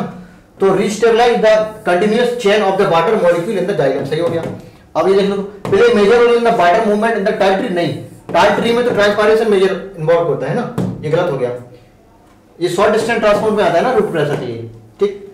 कह रहा है responsible for providing water to photosynthesis नहीं भाई, ये ट्रांसपायरेशन से फोटोसिंथेसिस के लिए वाटर है ट्रांसपायरेशन की वजह से रिस्पॉन्सिबल होता है, ऊपर तक जाना है तो। Responsible for movement of substance without energy expenditure नहीं, ये भी गलत हो गया। है ना? लॉन्ग डिस्टेंस बोल रहे हैं। जितने लॉन्ग डिस्टेंस वाले हैं, वो कहाँ है ट्रांसपेरेटरी पुल में। है ना? Essence of mass flow bulk flow hypothesis लेकिन ये रूट प्रेशर है, ये शॉर्ट डिस्टेंस में आएगा। सिर्फ़ कुछ ही हाइट तक तुम्हें पानी धक्का दे सकता है है ना? नीचे धक्का देता है तरह से। तो ये वाला सही है reestablish the continuous chain of the water molecule in the diagram है ना? नेक्स्ट देख लेते हैं भाई। बचा the following represent uridylic acid ये आपका क्या है? न्यूक्लियोटाइड है, एक तरह से। न्यूक्लियोटाइड ठीक है? ये न्यूक्लियोटाइड हो गया। अब न्यूक्लियोटाइड देखो, अब न्यूक्लियोटाइड में क्या क्या होता है? नाइट्रोजनस बेस होता है। देखो, ये आपकी पेंटो शुगर बना दी मैंने। ठीक है? पेंटो शुगर बना दी। ठीक ये पेंटो शुगर बना दी मैंने। ठीक? अगर शुगर में तुम्हारे लग गया क्या? नाइट्रोजनस बेस लग गया कोई। अब ये क्या बन गया? न्यूक्लियोसाइड ठीक? न्यूक्लियोसाइड बन गया। अगर इसमें लग गया क्या? फास्फोरिक एसिड मतलब फास्फोरस भी आ गया मतलब यहाँ। तो बन गया क्या? न्यूक्लियोटाइड ठीक? अब कहते हैं यूरोसिल प्लस राइबोज ये क्या है? न्यूक्लियोसाइड है ये। न्यूक्लियोसाइड न्यूक्लियोटाइड नहीं। क्योंकि इलिक एसिड जो आता है ना इलिक एसिड डेलिक एसिड ये न्यूक्लियोटाइड का सफिक्स होता है। और न्यूक्लियोसाइड का सफिक्स क्या होता है? न्यूक्लियोसाइड का सफिक्स होता है साइन डाइन है ना? इस इस तरह से। तो डेलिक एसिड लगाया मतलब ये न्यूक्लियोटाइड से पहचान लिया, और इसमें तीनों चीज़ें होनी चाहिए। मतलब नाइट्रोजन बेस भी हो फॉस्फोरिक एसिड भी हो, और पेंटस शुगर भी हो। तो इसमें सिर्फ़ दो चाहिए मतलब न्यूक्लियोसाइड हो गया यूरोडीन यूरोडाइन देखो न्यूक्लियोसाइड है। है ना? न्यूक्लियोसाइड हो गया, और फॉस्फोरिक एसिड भी लग गया। इतना पोर्शन क्या है? न्यूक्लियोसाइड और इसे लगने से बन गया न्यूक्लियोटाइड तो मुझे सेकंड आंसर सही लग रहा है। ठीक? ये देख लेते हैं। यूरोसिल है और फास्फोरिक एसिड देखो, कुछ होता ही नहीं है sir uridine ribose and phosphoric acid uridine अच्छा यूरोडीन है। यूरोडीन एंड फास्फोरिक एसिड ये भी ठीक तो लग रहा है हमारा। अच्छा यूरोसिल होता है ना, नाइट्रोजन बेस तो। नाइट्रोजन बेस क्या होता है? यूरोसिल। और इसका न्यूक्लियोसाइड मतलब जब नाइट्रोजन बेस जुड़ जाता है तो बन जाता है यूरोडाइन। ये चीज़ है ना, यूरोडाइन। तो न्यूक्लियोसाइड मतलब ये वाला सही है आपका। ठीक है? ये न्यूक्लियोसाइड ऑलरेडी दे दिया उन्होंने और ये अलग से और एक्स्ट्रा जोड़ दिया तो ये नहीं है। ये न्यूक्लियोसाइड हो गया। सिर्फ़ इतना इतना लिखते हैं, तब था न्यूक्लियोटाइड ये। तो second option will be correct ऐसा रीजन है। Mesosome are the analogous to mitochondria बिल्कुल सही है। जो चीज़ यूकैरियोटिक पास यूकैरियोटिक सेल के पास है, वही प्रोकैरियोटिक सेल के पास क्या होता है? मीजोसोम है ना? और हेल्प करता है किसमें? DNA replication distribution of daughter cell respiration cellular respiration है ना? ये सारे उसके फ़ंक्शन होते हैं, काफ़ी सारे हैं। और एंजामेटिक कंटेंट के सरफेस एरिया को बढ़ाने का काम करेगा, है ना? और तुम्हारे सेल वॉल का फॉर्मेशन करेगा। तो और एक्चुअली में ये बनता किससे है? जो आपकी मेम्ब्रेन है सेल मेम्ब्रेन है यूकैरियोटिक सेल मतलब प्रोकैरियोटिक सेल मतलब बैक्टीरिया की, वो इन्वेजिनेशन होती है मतलब अंदर की तरफ़ इनफोल्ड हो जाती है। उससे बन जाती है म्यूजोसोम तो आप एनालॉगस से सही बात है? कह रहा है mesosome are the invagination of cell membrane हाँ इन द बैक्टीरिया साइटोप्लाज्म ये भी सही हो गया। लेकिन ये इसके करेक्ट एक्सप्लेनेशन नहीं करेगा, है ना? क्यों? एनालॉगस का मतलब है, इनके फ़ंक्शन सेम है, इसलिए ये एनालॉगस है। लेकिन ये चीज़ अलग है, ठीक है? तो both are correct but not correct explanation इसका करेक्ट एक्सप्लेनेशन क्या होता? करेक्ट एक्सप्लेनेशन ये होता कि इनके फ़ंक्शन कैसे होते हैं? Same doublet of the microtubule are uh, visible in inter internal structure of axoneme of eukaryotic cell. Doublet का मतलब आपके जो 9 प्लस टू अरेंजमेंट देखा आप सीरियल प्रेलनाम है। तो ये क्या सेंट्रल माइक्रोट्यूब्यूल ये क्या पेरिफेरल माइक्रोट्यूब्यूल अब ये पेरिफेरल कैसी होती? है डबलेट एक दो एक दो एक दो एक दो एक दो ऐसे करके है ना? पूरी नाइन होती है तो ये डबलेट होती है एक डबलेट है। है ना? अभी जो सेंट्रल माइक्रोट्यूब्यूल ठीक? इस तरह से बन गया सीलियर फेरा तो एक्सोनी में अभी पैरेलल अरेंजमेंट होता है ये मैंने क्या ट्रांसफ़र सेक्शन लिया है। ये ऊपर तक ऊपर तक ऐसे करके होगा ना, पूरा। तो उसे बोलते हैं पूरा axoneme parallel arrangement of microtubules को बोलते हैं एक्सोनीम तो axoneme of eukaryotic flagella doublet होता है और बैक्टीरिया फ्लैजिला नहीं होता भाई। सेंट्रियोल के पास क्या? Nine plus zero nine plus zero होता है ना? लेकिन इसके पास डबलेट नहीं ट्रिपलेट होता है नाइन मतलब ट्रिपलेट होता है सेंट्रियोल के पास ट्रिपलेट ये डबलेट पूछ रहे हैं। मतलब सेंट्रियोल होता अगर तो इतना अगर गायब कर दो और इस तीन तीन कर दो यहाँ पे, ठीक? मतलब ट्रिपलेट बना दो तो बन गया क्या सेंट्रोल है ना सेंट्रोसोम अगर ये दो दो करो और बीच में आप बना दो सेंट्रल मैग्नेटिक तो बन गया क्या? सिलियस फ्लैजिला तो उस हिसाब से आंसर आपको फोर जाएगा, ठीक है? अगर ये ट्रिपलेट होता है यहाँ पे तो आंसर सेंट्रल होता। नेक्स्ट देख लेते हैं। Plasmodesmata connection between neighbouring cell सही लग रहा है? मेंबर कनेक्टिंग द न्यूक्लियस नहीं न्यूक्लियस नहीं मेम्ब्रेन सेल लोकोमोटिव स्ट्रक्चर नहीं होता लिग्निफाइड नहीं होता थर्ड ऑप्शन भी करेक्ट नेक्स्ट देख लेते हैं। The incorrect incorrect statement regarding fertilizer fertilizer के regarding the macronutrients and PK part of fertilizer सही बात है? है ना? इनकरेक्ट पूछ रहा है। द माइक्रोन्यूट्रिएंट्स चाहे माइक्रोन्यूट्रिएंट्स हो, चाहे मैक्रो हो पार्ट्स ऑफ़ फर्टिलाइज़र होते हैं ना, दोनों के दोनों, कि एक नहीं होता है। तो कह रहा है कि माइक्रोन्यूट्रिएंट्स करते हैं। हाँ सही है। और यहाँ पे कह रहा है माइक्रोन्यूट्रिएंट पार्ट ऑफ़ फर्टिलाइज़र ये भी ठीक है। Both macro and micro part पढ़ा ये भी ठीक है। ओनली माइक्रो नहीं, या ओनली लगा दिया इन्होंने। ओनली माइक्रो लगा दो, या ओनली मैक्रो लगा दो तो दोनों चीज़ें गलत हो जाएँगी। तो बोथ बोथ वाली लाइन यहाँ पे लिखी है और सेपरेटली ये वाली लिखी है। ठीक? तो ये वाला नहीं है ओनली नहीं होता है। ये क्या है भाई? यहाँ पे एंजामेटिक एक्टिविटी है आपकी, है ना? एंजामेटिक एक्टिविटी मतलब ये वेलोसिटी ऑफ़ रिएक्शन होगी आपकी। ठीक है? और यहाँ पे आपका पीएच ले लो या पर आप टेम्परेचर भी ले सकते हो। दोनों अलग अलग ग्राफ है कंफ्यूज मत हुआ मान लो आप अगर पीएच ले रहे हैं तो पीएच ही देखेंगे। एक ग्राफ अलग से और ले लो। यहाँ लिख दो बाई यहाँ पर लिख दो एक्स तो यहाँ पे बाई वही चीज़ होगी यहाँ पे है मतलब वेलोसिटी यहाँ भी वेलोसिटी है, ठीक है? और यहाँ पीएच लिया तो यहाँ पे टेम्परेचर ले लो। इसका भी ग्राफ सेम ही होता है, ऐसे करके, ठीक? लेकिन ये ऑप्टिमम वैल्यू है किसकी? पीएच की। ऑप्टिमम वैल्यू पे मतलब वेलोसिटी हाई है इसकी। अगर ऑप्टिमम से आप बढ़ा रहे हैं पीएच मतलब ये वाला पीएच अब ऑप्टिमम से पीएच बढ़ा रहे हैं, तब भी घटेगा, और घटा रहे हैं ऑप्टिमम से तब भी घटेगा। क्या घटेगा? वेलोसिटी ऑफ़ रिएक्शन ठीक, ऐसे यहाँ पे होता है यहाँ पे ऑप्टिमम कंसंट्रेशन मतलब ऑप्टिमम टेंपरेचर पे, इसकी एंजाइमेटिक एक्टिविटी बहुत हाई है, देखो हाई है यहाँ पे। यहाँ पे हाई है ठीक ऑप्टिमम पे तो हाई है, लेकिन अगर घटा रहा है तुम टेंपरेचर तब भी घट रही देखो एंजाइमेटिक अगर बढ़ा रहा है टेंपरेचर तब भी घट रही है। ठीक है तो ऑप्टिमम पीएच या ऑप्टिमम टेंपरेचर पे एंजाइमेटिक एक्टिविटी या velocity of the reaction high होती है इसके अलावा तुम बढ़ाओ या घटाओ दोनों में घट रही है है ना? इधर भी घट रही है, इधर भी घट रही है। तो कह रहा है कि एक्स क्या हो सकता है? पी तुम्हारा टेम्परेचर भी हो सकता है, और तुम्हारा पीएच भी हो सकता है आइदर वन और टू नेक्स्ट देख लेते हैं भाई। एल्किलॉइड मॉर्फिन कोडीन निकोटीन होता है। ड्रग विलवास्टिन करफ्यूम सही है। टॉक्सिन नहीं होता। टॉक्सिन तो आर्गन है रेजिन होता है। ये लेक्टिन है है ना? ये क्या लेक्टिन है? ठीक है? और पॉलीमर रबर होती है, ये भी सही है। तो क्या अधिग्रहण पूछ रहे क्या? मेटाबॉलिक हाँ अधिग्रहण पूछ रहे हैं है ना rate of transformation does not depend on light भी डिपेंड करता है टेम्परेचर भी करता है अरेंजमेंट ऑफ़ स्टोमेटा भी, है ना? एपिस्टोमेटिक हाइपोस्टोमेटिक लीप होती है ना? अरेंजमेंट स्टोमेटा का मतलब ऊपर ज़्यादा है कि नीचे कम है, नीचे कम है ऊपर ज़्यादा स्टोमेटा है। जो डाइकॉट की लीप होती है, वो मेनली कैसी होती है? एम्पिस्टोमेटिक या हाइपोस्टोमेटिक है ना? हाइपोस्टोमेटिक होती है। और जो एम्पिस्टोमेटिक होती है, वो मोनोकॉट की लीप होती है मेनली ठीक है? नंबर ऑफ़ क्लोरोफिल जल्दी डिपेंड नहीं करता, है ना? कोई मतलब नहीं इसका। ठीक? ये तो फोटोसिंथेसिस से हेल्प करते हैं। In the given process plant which which one mean more than one option purpose अच्छा ज़्यादा से ज़्यादा पर्पज क्या, कौन सी प्रोसेस के लिए होता है? फोटोसिंथेसिस के लिए होती है फ़ूड के लिए। ठीक है? एसेंस ऑफ़ सेल ट्रांसफॉर्मेशन ये मोर देन वन पर्पज क्यों? इससे पानी जो फ़ूड सिंथेसिस हो रही है, इसके लिए पानी की ज़रूरत जो पड़ रही है ट्रांसफॉर्मेशन से ही आता है। और और अदर मतलब हेल्प करेगा ट्रांसफ़र जैसे कूलिंग है ना? तो प्लांट की बॉडी है कूल भी करता है एक तरह से। तो मोर देन वन पर्पज के लिए होता है transformation pressure public potential which ultimately responsible for enlargement of extension of growth cell turgor pressure and pressure देखो, आपका जो psi psi W water potential क्या होता है? Psi P plus psi S है ना? यहाँ पर लिखो psi S psi S plus psi P psi S plus psi P ठीक है, यहाँ पर। अब इसकी जगह पे हम यहाँ पे डीपीटी लिखें अगर। डीपीटी तो डीपीटी बराबर क्या होता है? ओपी माइनस टीपी ठीक है? ये स्टेट करंट होता है। मतलब ऑस्मोटिक प्रेशर है। वो किसकी वजह से होता है? सॉलिड पोटेंशियल की वजह से। मतलब सॉलिड के ऐड करने से सॉलिड पोटेंशियल कॉज होता है और यहाँ ऑस्मोटिक प्रेशर कॉज करता है। और ये इसके इक्विवेलेंट होता है। ठीक है? इसे बोलते हैं प्रेशर पोटेंशियल इसको बोलते हैं टर्गर प्रेशर तो प्रेशर पोटेंशियल और टर्गर प्रेशर दोनों कॉज होते हैं किसके लिए? अब जैसे सेल है ये, ठीक है? ये आपकी सेल वॉल हो गई है।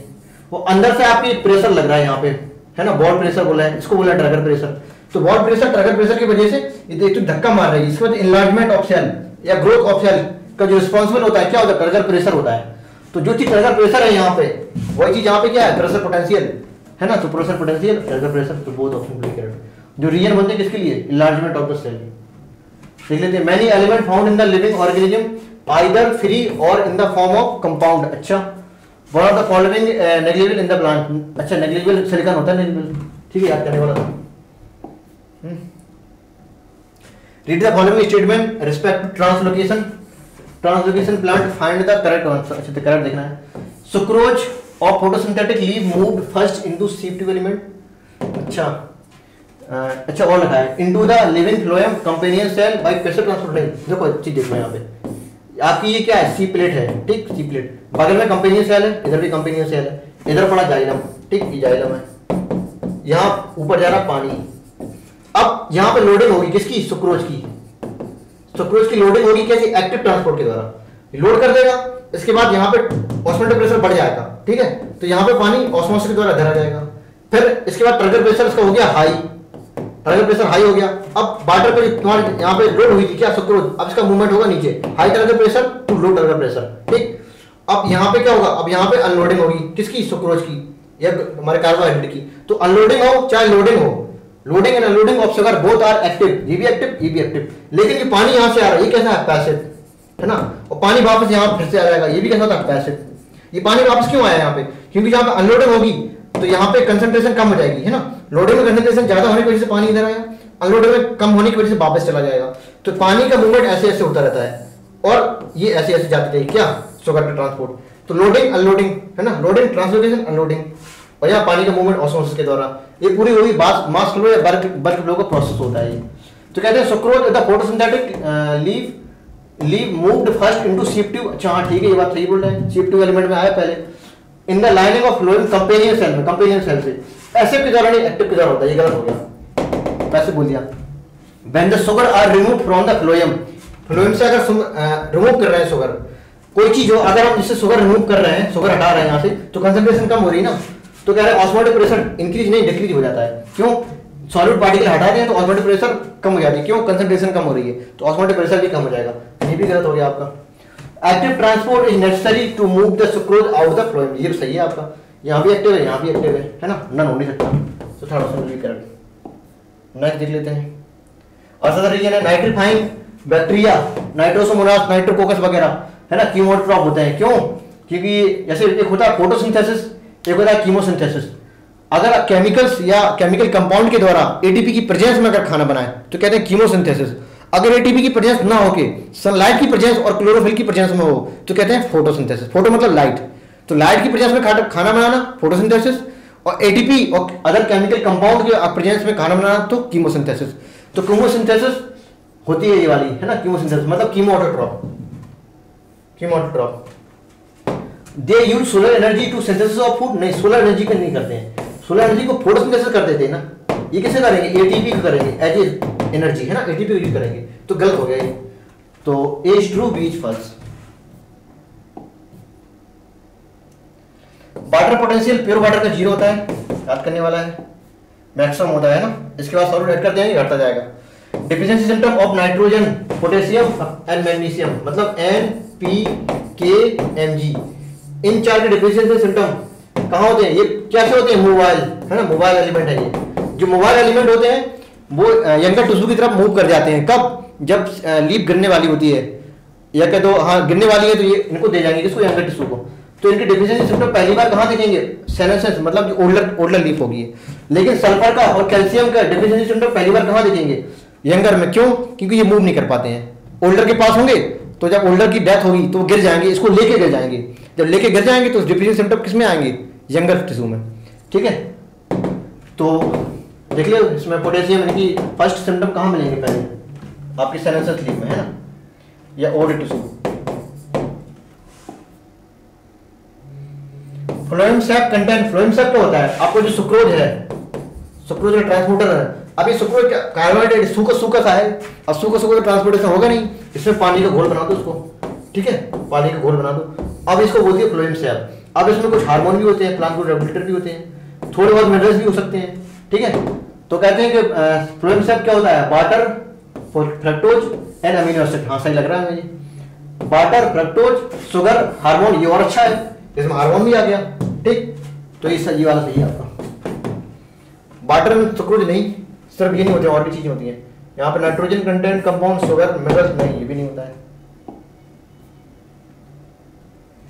Enzyme involve in the conversion of nitrogen into ammonia nitrogen मतलब N2 plus three H two equal to two N H three ठीक है?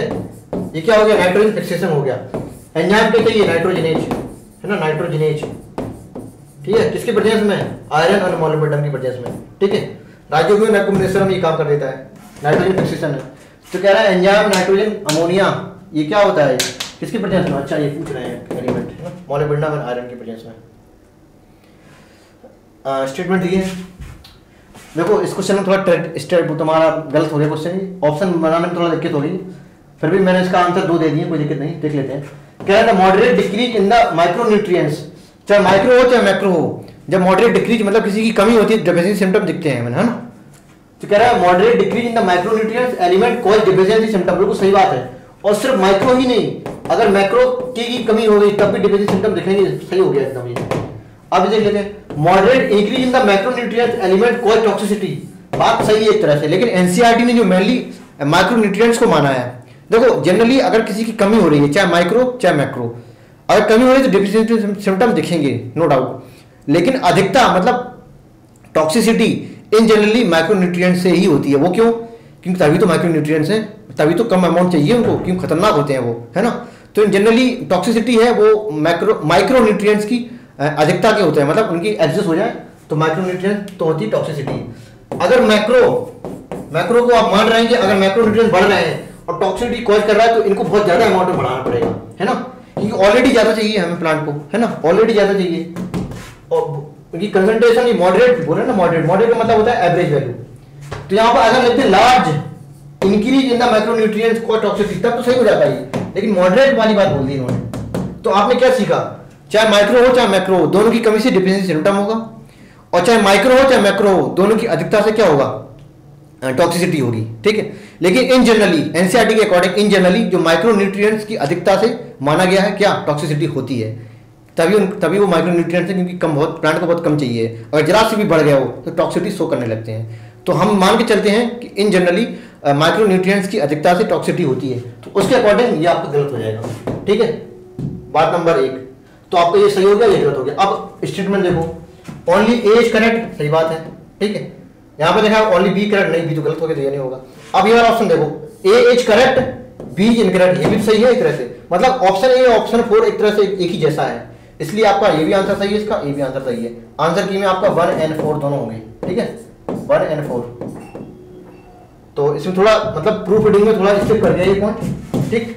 वो ऑप्शन बनाने में थोड़ा दिक्कत होगा तो ओनली ए और इसका दोनों आंसर सही है। और ये और तो एक ही चीज़ है। ओनली बीज करेक्ट मतलब ये वाला करंट और बी एज करंट बीज करंट तो ये ऑप्शन एक ही मतलब एक ही है इनके, ठीक? तो देख लेना इसको थोड़ा।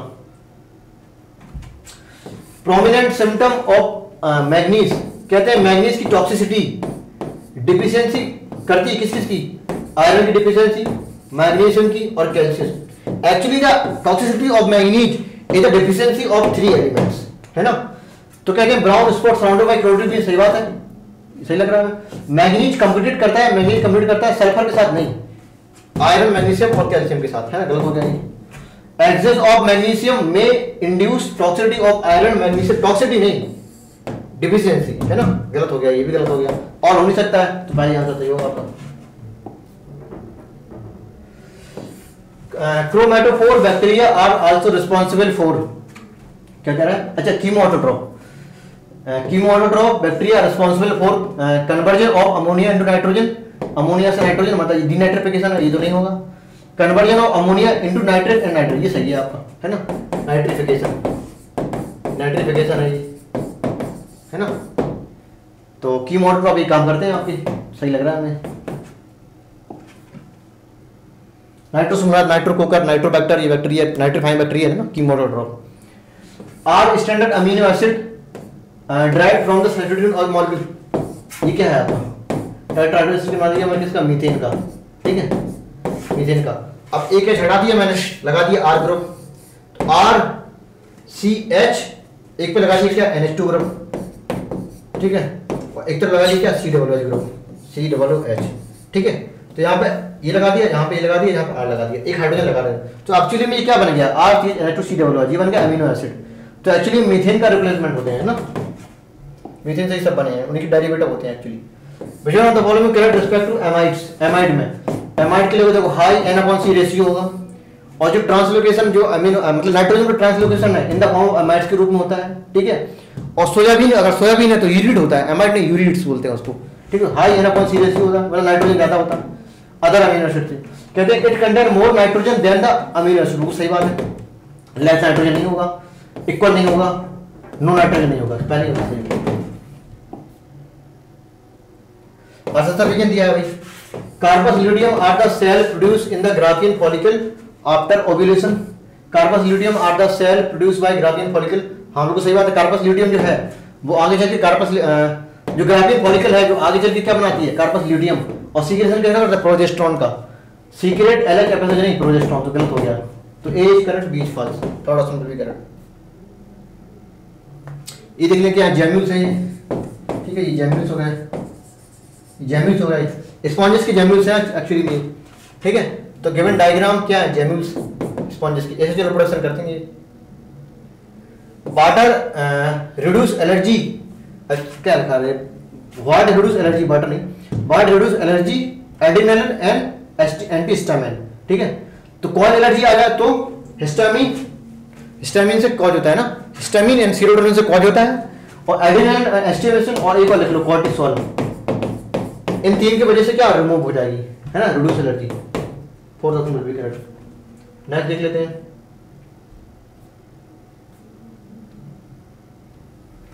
सेल का पेयर बैक्टीरियल डिसीज वायरल होता है, ये भी वायरल होता है। ये आपकी प्रोटोजोआ से भी होती है है ना? एंटोमेस्टोलिटी का। और आपका तुम्हारा बैक्टीरियल भी होती है बैक्टीरियल डिसेंट्री भी होती है अम्यून डिसेंट्री भी होती है। कॉमन कोल्ड वायरल होता है।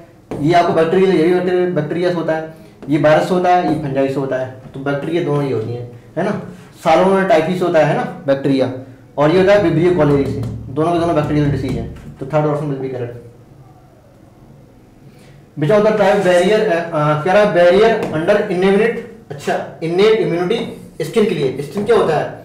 स्किन हो मिकोसा हो, है ना? स्किन मिकोसा एक्चुअली में क्या? फ़िज़िकल बैरियर होती है है ना? फ़िज़िकल बैरियर फिजियोलॉजिकल में आते टीयर्स सलाइवा, एसिड वगैरह आ जाएँगे, एंजाइम आ जाएँगे। सेलर में आपकी मैक्रोफेजिस सेल लिम्फोसाइट वगैरह आ जाएँगी मोनोसाइट न्यूट्रोफिल्स वगैरह आ जाएँगी। साइटोकाइन में आपकी इंटरफेरॉन आ जाती है तो third option will be correct next देख लेते हैं। Which are the following enhance the enhances और इंड्यूस फ्यूजन ऑफ़ प्रोटोप्लास्ट ये आपका एनसीईआरटी के बाहर क्वेश्चन है, याद कर लीजिएगा। पॉली इथिलीन ग्लाइकॉल है ना? और सोडियम नाइट्रेट एन याद कर लो। ये हेल्प करेंगे किसमें? प्रोटोप्लास्ट के फ्यूजन में। अब प्रोटोप्लास्ट क्या होता है? प्रोटोप्लास्ट होता है, देखो जो सेल, प्लांट सेल होती है, उसकी सेल वॉल हटा दो। तो जो बचा मतलब सेल मूवमेंट के बाद जो बचा, उसे कहते हैं प्रोटोप्लास्ट। तो प्रोटोप्लास्ट फ्यूजन में हेल्प करेगा polythene glycol and sodium nitrate याद कर लो एनसीईआरटी के बाहर का था, लेकिन आया हुआ है ये, है ना? एम्स में आया हुआ है इसलिए दे दिया ये। सीवेज ट्रीटमेंट में क्या था? बीओडी इंडिकेट हाई अच्छा इंडिकेट हाई कर रहा है। इसके क्या कुछ समय बाद after some time so decrease है ना? तो BOD is directly proportional to pollution है ना? Pollution in water pollution in the water जितना ज़्यादा पॉल्यूशन होगा, उतनी ज़्यादा बीओडी होगी, और उतनी ज़्यादा बैक्टीरियल ग्रोथ होगी। ठीक है? बैक्टीरियल ग्रोथ उतनी ज़्यादा होगी, ठीक है? और इसकी डिजॉल्व ऑक्सीजन उतनी कम होगी मतलब इन्वर्सली प्रोपोर्शनल तो ये आपका है लेकिन कह रहा बीओडी कम हो गई है। मतलब तुम्हारी बैक्टीरियल ग्रोथ भी कम हो जाएगी, और उसमें पॉल्यूशन भी कम हो जाएगा। मतलब उसको डिग्रेड सारे डिग्रेड कर दिए। कार्बन डाइऑक्साइड सारे खत्म हो गए। तो डिजॉल्व ऑक्सीजन बढ़ जाएगी, है ना? जब बीओडी घटेगी। तो ये बीओडी को घटा रहे हैं तो कह रहा है increase in the bacterial growth नहीं डिक्रीज करेगा। Decrease in the bacterial growth but increase in the dissolve oxygen है ना? ऑक्सीजन बढ़ेगी।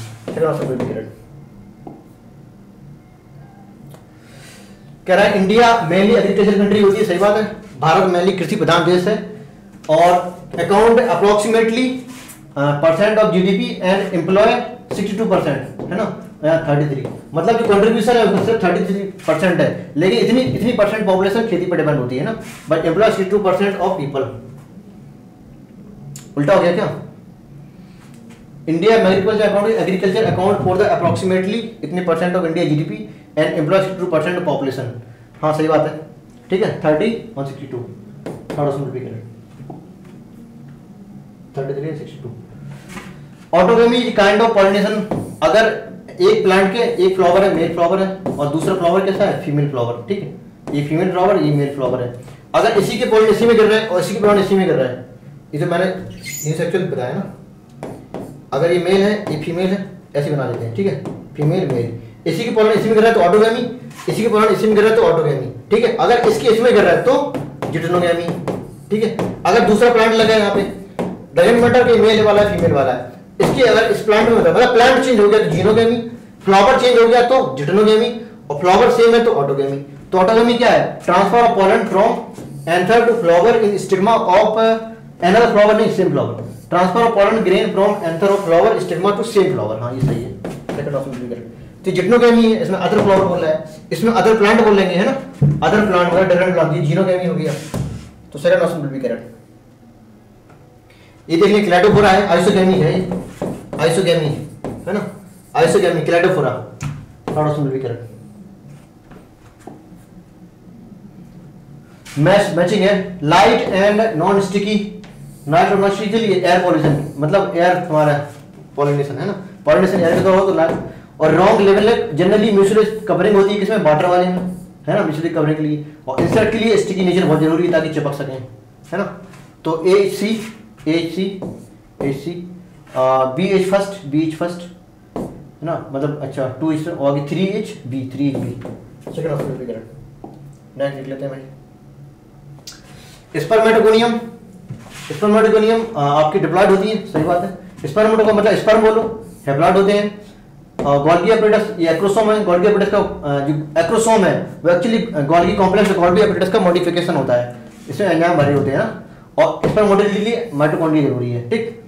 तो A H three A H three भी ऑप्शन में है। बाकी आप देख लो, मैंने मिलाई दिया आगे देख लेते हैं। एच अच्छा क्वेश्चन देख लेते हैं। फॉलोइंग ओनली सीक्रेट प्लेसेंटा सिर्फ़ प्लेसेंटा से मतलब प्रेगनेंसी के दौरान सिर्फ़ प्लेसेंटा का सीक्रेट कौन सी? एच सी जी बी और रिलैक्सन ठीक? ये तीन हार्मोन मैलिन निकलते हैं किससे? H P L H C relaxin लेकिन कह रहा है? ओनली ओनली लगाया उन्होंने। रिलैक्सन तो दोनों जगह से निकलता है। प्लेसेंटा से भी निकलता है, ठीक है?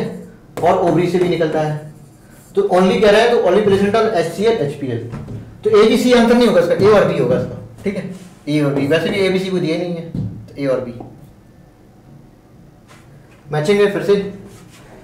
जी एन एच ये स्पर्मेटोजेनेसिस क्या है रिलेटेड हाइपोथर्मस इधर ही आ गया ये। इधर आया हाइपोथर्मस ठीक? इधर से हटा दो ये। हाइपोथर्मस इधर आया तो GNR related to hypothalamus Sertoli cell nurse करेंगी बीएच3 spermiation detachment of sperm from the seminiferous tubule ये है कन्वर्जन नहीं है. Release of sperm from release of sperm from seminiferous tubule सही है. तो स्पर्मेशन यहाँ हो गया. और स्पर्मियोजेनेसिस क्या होगा? Conversion of sperm to spermatid to sperm ये सही है. ठीक? तो एच फोर एच फोर एक ही ऑप्शन नहीं एक और ये हो गया. बी एच थ्री दोनों में है बी एच थ्री दोनों में है. सी से डिसाइड हो जाएगा तो सी क्या है? सी एच टू है ना? तो C H two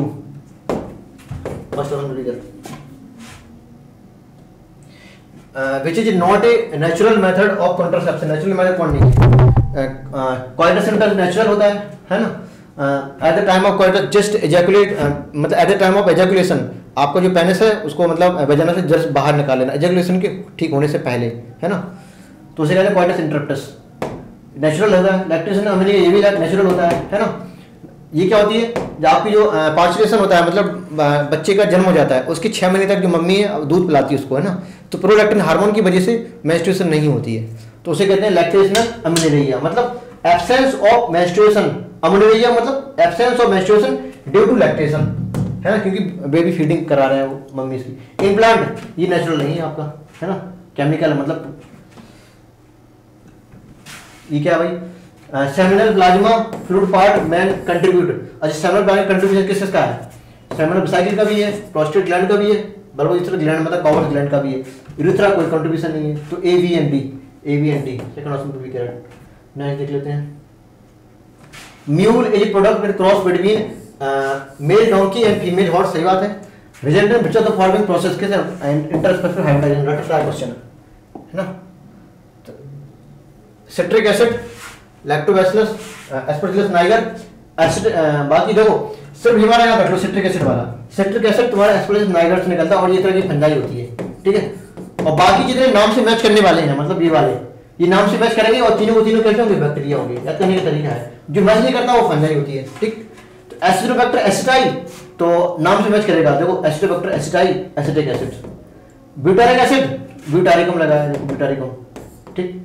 lactic acid लैक्टाइल लगा होगा। लैक्टोबैसिलस लैक्टोबैसिलस लैक्टाइल पूरा नाम होता है। ठीक? तो ये हो गया। ठीक? तो H V H V two C two C three H A three H at four D ठीक है? Ninety one member of which of the following fungal genus glomus participate in the microbial glomus रटा question है, रटा है।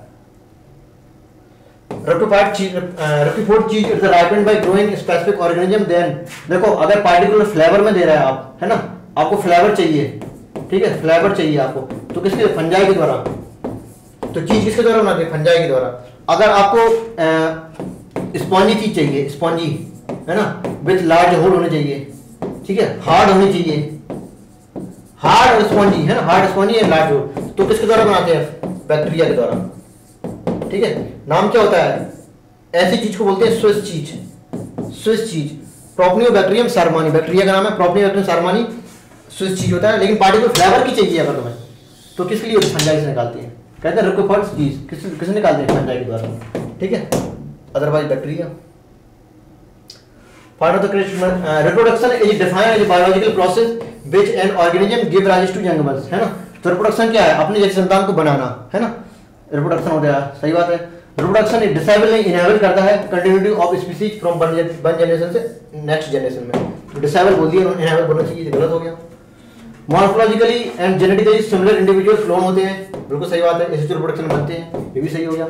Butterfly की life span सात से चौदह दिन मतलब वन से टू वीक एनसीआरटी में लिखा है वन से टू वीक है ना? तो ये भी सही हो गया। तो ओनली बी इनकरेक्ट करेक्ट पूछ रहा है तो A C D A C D A C D third option will ये क्या है ये सीड है ए सीड है, और बी क्या है? पेरिकार्प है है ना? देख लो ए सीड बीज करीब A and B seed and pericarp seed and pericarp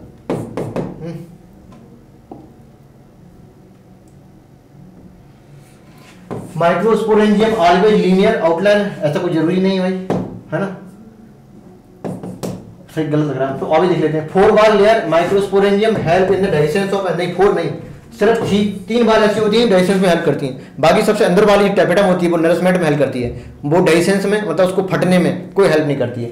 तो थ्री बार हेल्प करती है, जो गलत हो गया आपका। ठीक? इनकरेक्ट ही पूछना था इसमें।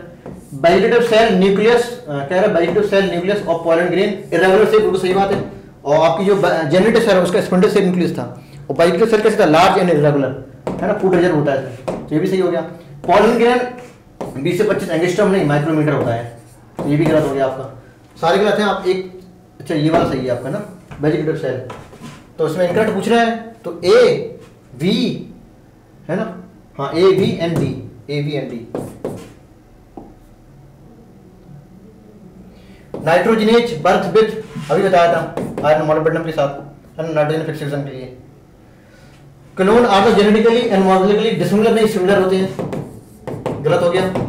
Clone are generally similar but molecularly dissimilar नहीं, दोनों सिमिलर होते हैं। Clone are reproduce asexual production सही बात है। These formed by function of male male and female gamete these formed by male and female gamete close नहीं। Gamete तो आपके कहाँ बनते हैं सेक्सुअल रिप्रोडक्शन में। है ना? गैमिट सेक्सुअल रिप्रोडक्शन बनता है, लेकिन क्लोन कहाँ बनते हैं एसेक्सुअल में। ठीक? तो ये भी गलत हो गया आपका। पूछ क्या रहा है? सही है, गलत? सही पूछ रहे हैं? Clone are exactly identical to each other हाँ ये सही है आपका। तो आपका ये वाला सही हो गया? और एक और सही था बीच में? ये वाला सही था? ये वाला सही था। थ्री एंड फाइव है ऑप्शन में? थ्री एंड फाइव नहीं है क्या? है तो पहले ही। थ्री एंड फाइव क्या पूछ करेक्ट पूछ लेते हाँ? करेक्ट ठीक। पिल्स क्या करेंगी? देखो पिल्स आपकी प्रीवेंट इम्प्लांटेशन इम्प्लांटेशन को भी रोकती है ओवुलेशन को भी रोक देंगी, ठीक? कंडोम क्या करेगा? Seven content no sperm prevent हाँ ये वाला। Prevent sperm to reaching cervix है ना? सर्वेक्स बोलो, या वजाइना बोलो, ठीक है? या यूटेरस बोलो, या ओविडेट बोलो, कुछ भी बोलो, है ना? तो ये आपका कंडोम हो गया इधर। और vasectomy sperm content no sperm सही बात है वैसे में अब कॉपर्टी के लिए जो दिक्कत आ गई, क्योंकि दो ऑप्शन ये ले गया। अब देखो पिल्स का काम क्या होता है? कॉन्ट्रासेप्टिव पिल्स आपको इम्प्लांटेशन को भी रोकता है ओवुलेशन को रोकता है। लेकिन कॉपर्टी आपका ओवुलेशन को नहीं रोकेगा, सिर्फ़ इम्प्लांटेशन को रोकेगा। तो आप एक काम करो, ये वाला हटाओ यहाँ से, है ना? तो ए इज़ तो ये क्या हो गया? सी एच टू है ना? सी एच टू तो इसके दो ऑप्शन सही है A K. H two H two H two और ए के एच थ्री भी होगा तो एच थ्री भी होगा, ठीक? तो कुछ भी हो सकता है। देखो आगे पॉसिबिलिटी पता चल जाएगा। अब डी को हमें देना कौन सा? सेकंड वाला। तो डी को सेकंड देना पड़ेगा। इसलिए इसे छीनना पड़ेगा सेकंड वाला ऑप्शन है ना? तो डी एच टू है ना? तो D H two D H two यहाँ पर दिया है। और बीच फ़र्स्ट था बीच फ़र्स्ट था बाकी सही है ना? तो मेनली हम तो इसको कौन सा काम मान रहे हैं? ओवुलेशन कराएगा ना? ओवुलेशन को रोकेगा, ठीक? इम्प्लांटेशन को भी रोकता है तो इसलिए इस फ़ंक्शन को हमने छोड़ दिया, क्यों? इसको भी तो कुछ देना है। तो मैं हम मैचिंग के अकॉर्डिंग काम करना है। Necrosis is due to deficiency of K M G काबू है ना? याद करना है आपको और कुछ नहीं। के एम जी एन काबू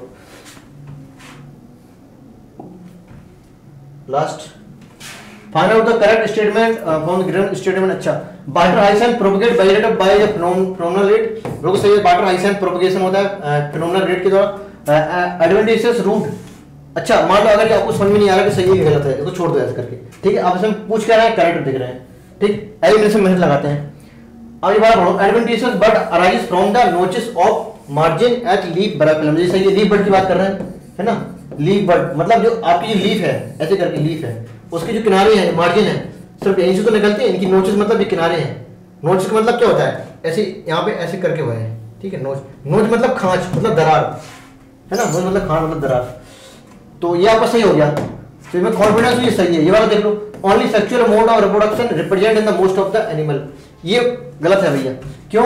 मोस्ट ऑफ़ द एनिमल में ओनली सेक्चुअल होता है ओनली ये सेक्चुअल नहीं है। तो मुझे पक्का पता है कि ये गलत है। मुझे पक्का पता है कि ये सही है। और हमें ये मालूम पता नहीं है ये वाले मतलब ठीक है? पूछ रहे हैं करेक्ट वाला। तो करेक्ट वाला वो होगा जिसमें सी नहीं होगा। क्यों? ये गलत है। तो सी इधर भी है सी इधर भी है और सी इधर भी है। मैंने सारे स्टेटमेंट में बड़े एलिमिनेशन मतलब लगा दिया मैंने। क्यों? सही पूछ रहे हैं, लेकिन सी वाला गलत है। तो सी वाला गलत है, ये भी नहीं होगा, ये भी नहीं होगा, ये भी नहीं होगा। बिना स्टेटमेंट पढ़े आपको फ़र्स्ट आंसर सही हो गया। ठीक है कभी कभी एलिमिनेशन मेथड लगाना पड़ता है। Okay thank you bye